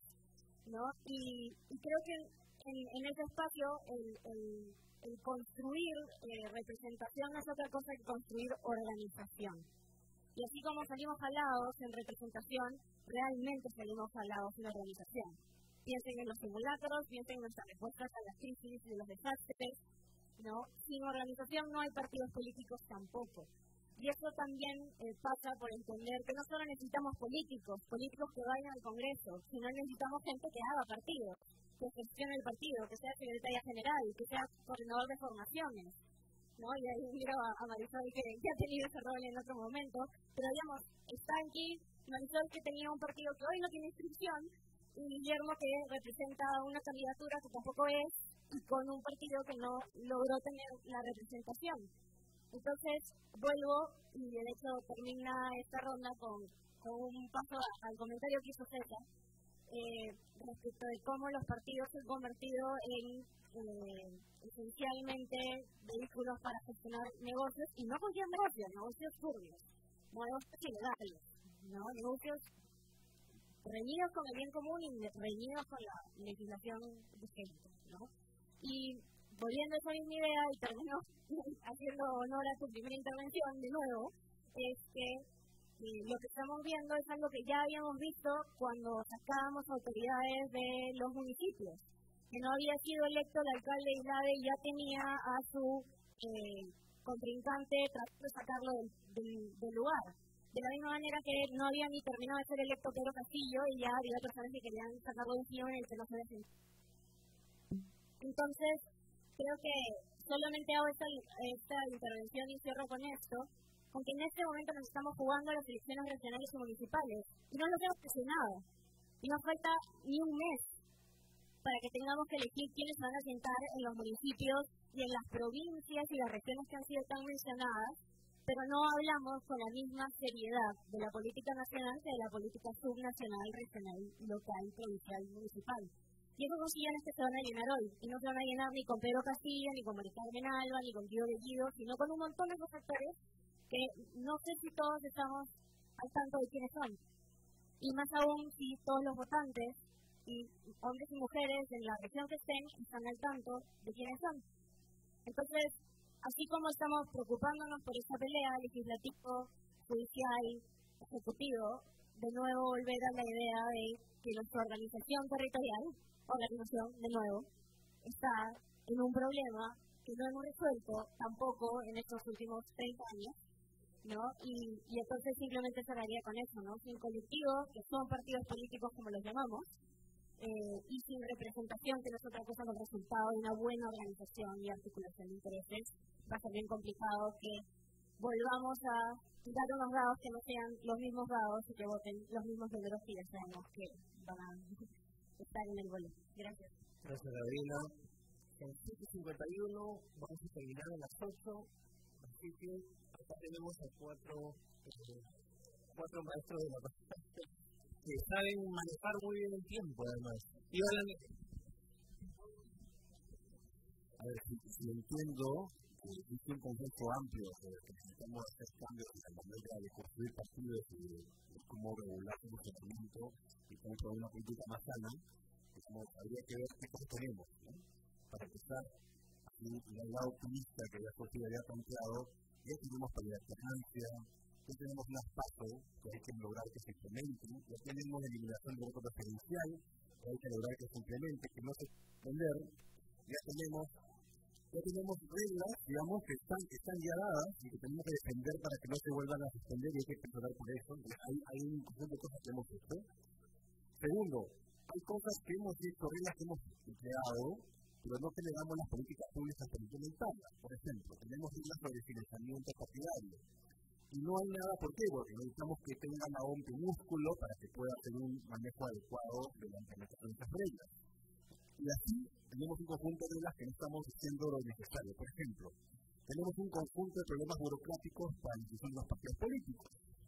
No tenemos un programa serio que apunte a reducir esos problemas burocráticos y hacer que sea más fácil para un partido inscribirse y facilitar las reglas, por ejemplo, para presentar si no haya inscripciones por pura formalidad. Ese es un tema que se puede hacer. Y luego tenemos otro, tema que tiene que ver con cambios efectivamente algunas, algunas normas, pero siempre entendiendo que las normas no transforman la realidad. Lo que generan son incentivos para que algunas conductas sean mejores, pero no que la realidad automáticamente, ni una ley ni una constitución, ¿no? Digamos, la, la constitución no dice nada sobre que hay que nombrar un buen ministro, porque se supone debería ser un sentido común, eh, pero sin embargo, digamos, sí puede tener incentivos de que sea muy costoso para un funcionario hacer eso porque hay un costo político por hacerlo como ofrecen algunos incentivos. Y ahí creo que hay al menos dos campos grandes, ¿no? Un campo que tiene que ver con cómo mejorar la oferta política, así como logramos que hayan, digamos, mejores condiciones para que sean partidos adecuados, que presenten candidaturas idóneas, y eso nos lleva a mejores representantes, pero también otras reglas que tienen que ver ya con las personas en función, para que tengan mejores incentivos para tomar decisiones adecuadas. Por ejemplo, ya se mencionaba cosas como la renovación por mitades o por tercios, o, o, recuperar la elección congresal, o generar mecanismos, por ejemplo, para que ninguna ley pueda darse si no pasa previamente por un puesto mínimo de participación ciudadana. Es decir, que por lo menos le pregunten a los pueblos afectados o beneficiados supuestamente de los beneficios o los prejuicios que la misma puede generar. Ese tipo de agenda creo que es un tema crucial. Y cierro diciendo una cosa que es interesante, los gobernadores regionales que se hace poco dijeron que ser que ese tipo de reformas no se discute solamente en este tipo de espacios, sino que hay una discusión nacional. Y eso implica llevar la discusión a los departamentos, a los distintos ámbitos y construyendo un consenso nacional, no solamente político, entre los ciudadanos sobre la urgencia de esas, reformas. Luego se puede discutir la prioridad, cuáles son los temas que tienen que ir primero, los temas que pueden ir después. Pero sin esta agenda creo que difícilmente podemos cambiar la, la dirección de la rueda o la dirección de la roca que nos quiera aplastar cada vez más. Pero Iván, ahora vienen los chistes, wow. Prepárense para el cambio. ¿no? Primero quiero comenzando a terminar muy brevemente. Estamos a dispuestos en el sistema nacional y local. La mayoría de las candidaturas pero hay información también le dice una encuestadora que no están haciendo, porque son muy caros en el integral, en la cual encuestan nacionales y locales. Así no hay un mapa de riesgo sobre lo que viene en función. No se intuye que la matriz de conformación de las candidaturas es la misma que tuvimos el 21. Y en consecuencia, acá estamos discutiendo cómo se resuelven una crisis que está a punto de reproducirse hasta la regional y municipal. Primera cosa. Partidos y corrupción voy a confesar que he sido muy tonto en mi lectura sobre los partidos, y mi broma teórica siempre ha sido, díganme en cuál de los autores clásicos de la filosofía política hay una sola referencia a la necesidad de los partidos. Pero en este instante, los partidos representan lo público.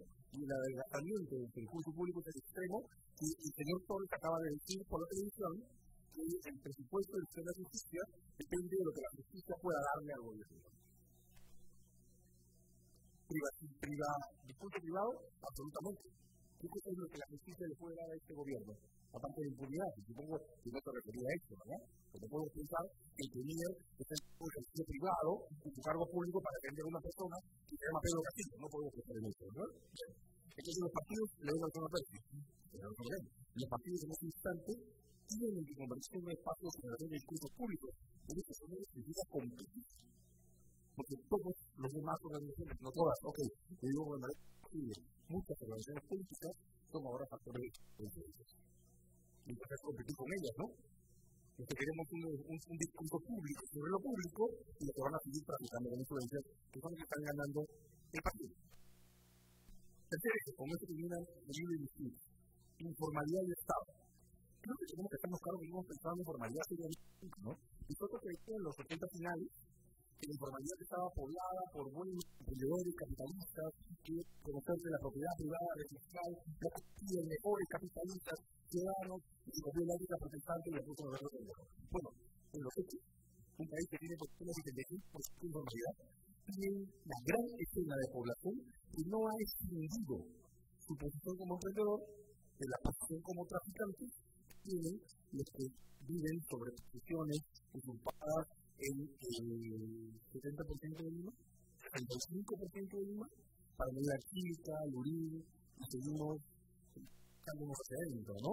Bueno, todos estos sectores dentro de la, del 75% pensando en términos de empleo, ¿no? Puede ser, digamos, otras mediciones, otros sistemas, están en informalidad, no están definidos entre organizaciones populares, traficantes de tierras, de niños, de mujeres, de oro, de animales, de árboles, acopiadores de granos, de papas, por medios de violencia, emprendedores que, que dan fortunas en informalidad. ¿Y cómo se protege la fortuna de la No es con corrupción, no es comprando políticos, no es comprando políticos que protejan la, los factores de acumulación en el país. Entonces, es un tema de pensar informalidad, es un tema de que hay que pensar esa falta de elección está generando por el tráfico y está generando una forma de representación y defensa perversa de intereses. Primero el equipo. Gracias, César. La congresista César Ya. Entonces, Bustamante, presidente de la Comisión de Relaciones Exteriores, archivó el proyecto para aprobar la Convención Interamericana contra toda forma de discriminación e intolerancia. ¿Por qué? porque ahí se incluía orientación sexual. Ya me voy a sentir víctima de todas las tragedias, porque entonces el Congreso es una desgracia. Y es una desgracia por este tipo de cosas. Y otra desgracia, lo que ha dicho la reforma de partidos políticos. ¿Quién lo ha destruido? El Congreso, los partidos políticos. Porque no, pucha, que no vamos a llegar. Entonces, ¿sabes qué? Por única vez y por la pandemia, entonces no deben haber este, elecciones internas, simultáneas, obligatorias, las pasas. Ya. Y entonces hace todo. Cada vez que hay algo que ya más o menos está encaminado, me tengo una ley y no lo digo, o sea, esta gente, sus partidos han aprobado esas leyes. Y ahora como ellos no les conviene o necesitan un sentido para poder llegar con unos candidatitos más, entonces modifican la ley. Entonces, ¿con qué cara yo voy a decir vacancia? Si esa tragedia la estamos produciendo nosotros. Entonces, y así me cansaría toda la noche estaríamos haciendo. Está en, en, en la agenda, pero como nunca se sabe qué cosa se va a discutir al final en la agenda, el proyecto de ley para cambiar de nombre al Ministerio de la Mujer por Ministerio de la Familia. De la familia porque solo hay un tipo. La del escaseo. Todo lo demás no existe. Entonces, y así tenemos, mañana tendremos 30 amenazas, amenazas de retroceso. Los, los bosques.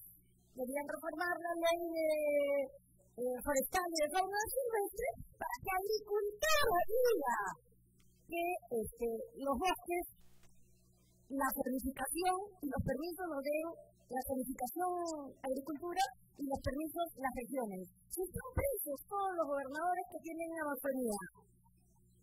Ya, entonces, de verdad, yo creo que desde el Congreso a mí me, estoy muy autocrítica, pero ¿quiénes son? ¿Sabes qué se indigna? Que los que tienen la vacancia son los de los partidos que hacen esas porquerías, que archivan la Convención contra la Discriminación. Son los que dicen, vamos a aumentar este un más para que podamos, podamos tener más candidatos. Y, y esos mismos tienen la vacancia. Es una doble moral sin nombre, de verdad.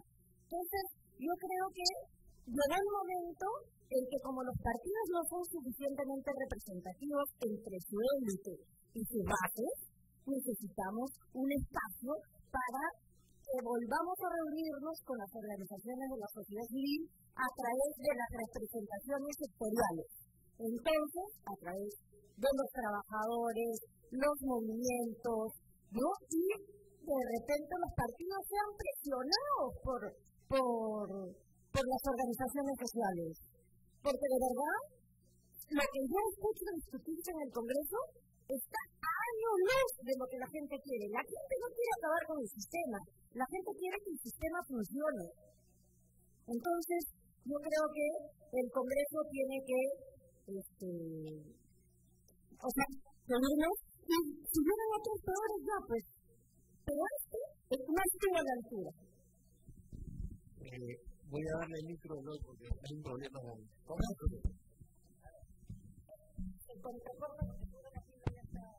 Bueno.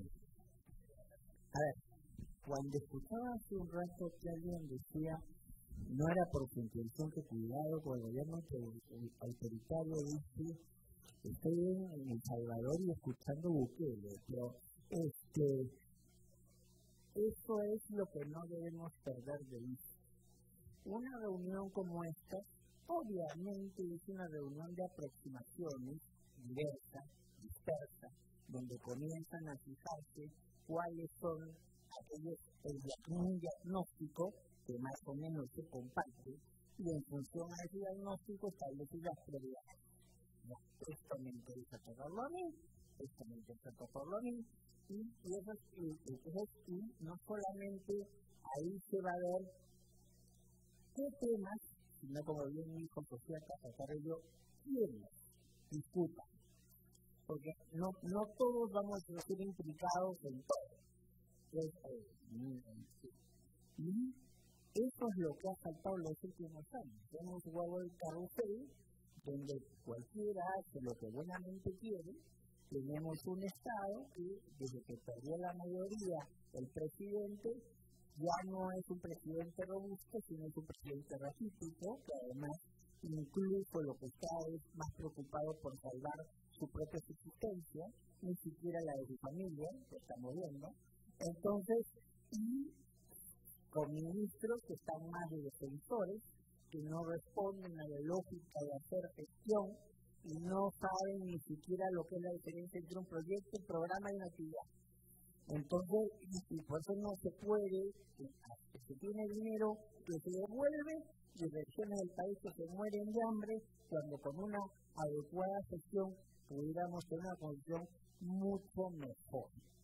Entonces, ya hay una degradación evidente del servicio público.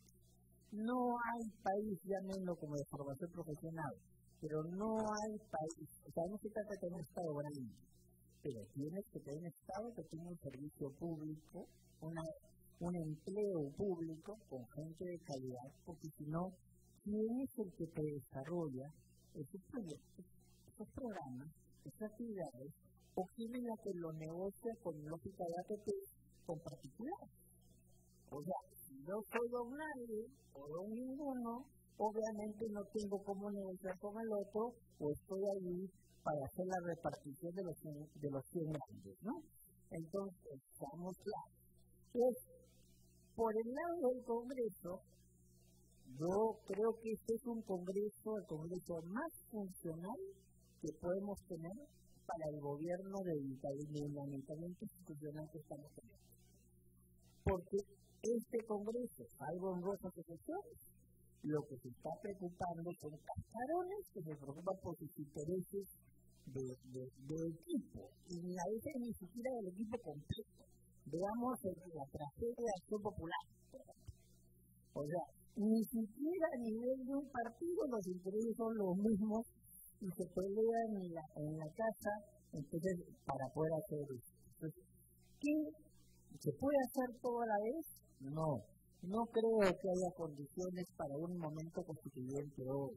Yo lo que creo es que hay que, hay que una, pero sí hay una agenda de muy corto plazo donde tendríamos que ir generando actividades. La, frente a la crisis de representación, que significa también crisis de confianza, o sea, lo acaba, lo dijo Mirta contra su letra, a la gente le da lo mismo porque por partido que lleva les roba igual o les engaña igual, entonces, ¿para qué me voy a movilizar? Y cuando se movilizan, pasa que, como no hay mecanismos intermedios, pasamos del futuro al estallido. Y eso es grave. Entonces, yo sí creo que grupos como este, convocando diferentes fuentes, deberíamos preocuparnos de una agenda mínima sobre temas ante la crisis de la presentación y sobre la crisis que genera la corrupción. Son, vamos hablar de muchas cosas, pero si nos metemos en muchas cosas, no las vamos a hacer Además, yo tengo que buscar a mi querido amigo Albert Cuba, sé que él, tiene 546 cosas más que hacer que estar en esta reunión. Entonces, y va a ser un esfuerzo, pero no va a poder dedicar todo su tiempo. Seamos razonables en lo que podemos hacer. Lo que podemos hacer es una agenda mínima en cuestiones de representación y de corrupción. Y esa agenda es con la cual nos confrontamos la palabra intencional, nos confrontamos con aquel sector que está envileciendo la política en el Perú y que está haciendo de esto un conjunto de negocios. Hay que confrontarlos. Y hay que comenzar a pensar que hay que confrontarnos ya. Porque de aquí un mes tenemos elecciones regionales y municipales. Y la tragedia lo que va a pasar es que probablemente no van a llegar a los cuatro años y a los tres años las sesiones de la, de la Junta de Gobernadores Regionales van a ser mejores. Entonces, yo sí, yo no, yo, a, mí me gusta llegar a la luna, pero antes tengo que estar parado y resolver los problemas concretos.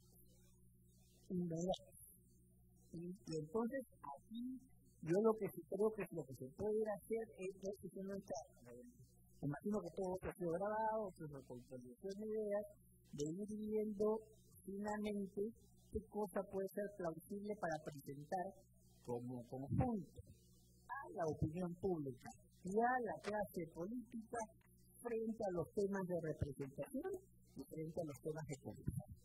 Y, y, y si esto nos va bien, nos puede permitir ir adelante con cosas de más aliento. Pero creo que eh, estamos en un momento de crisis tan grande que lamentablemente lo urgente se prioriza frente a lo. Y por eso hay que atacar lo urgente para poder después ir con fuerzas para enfrentar lo importante.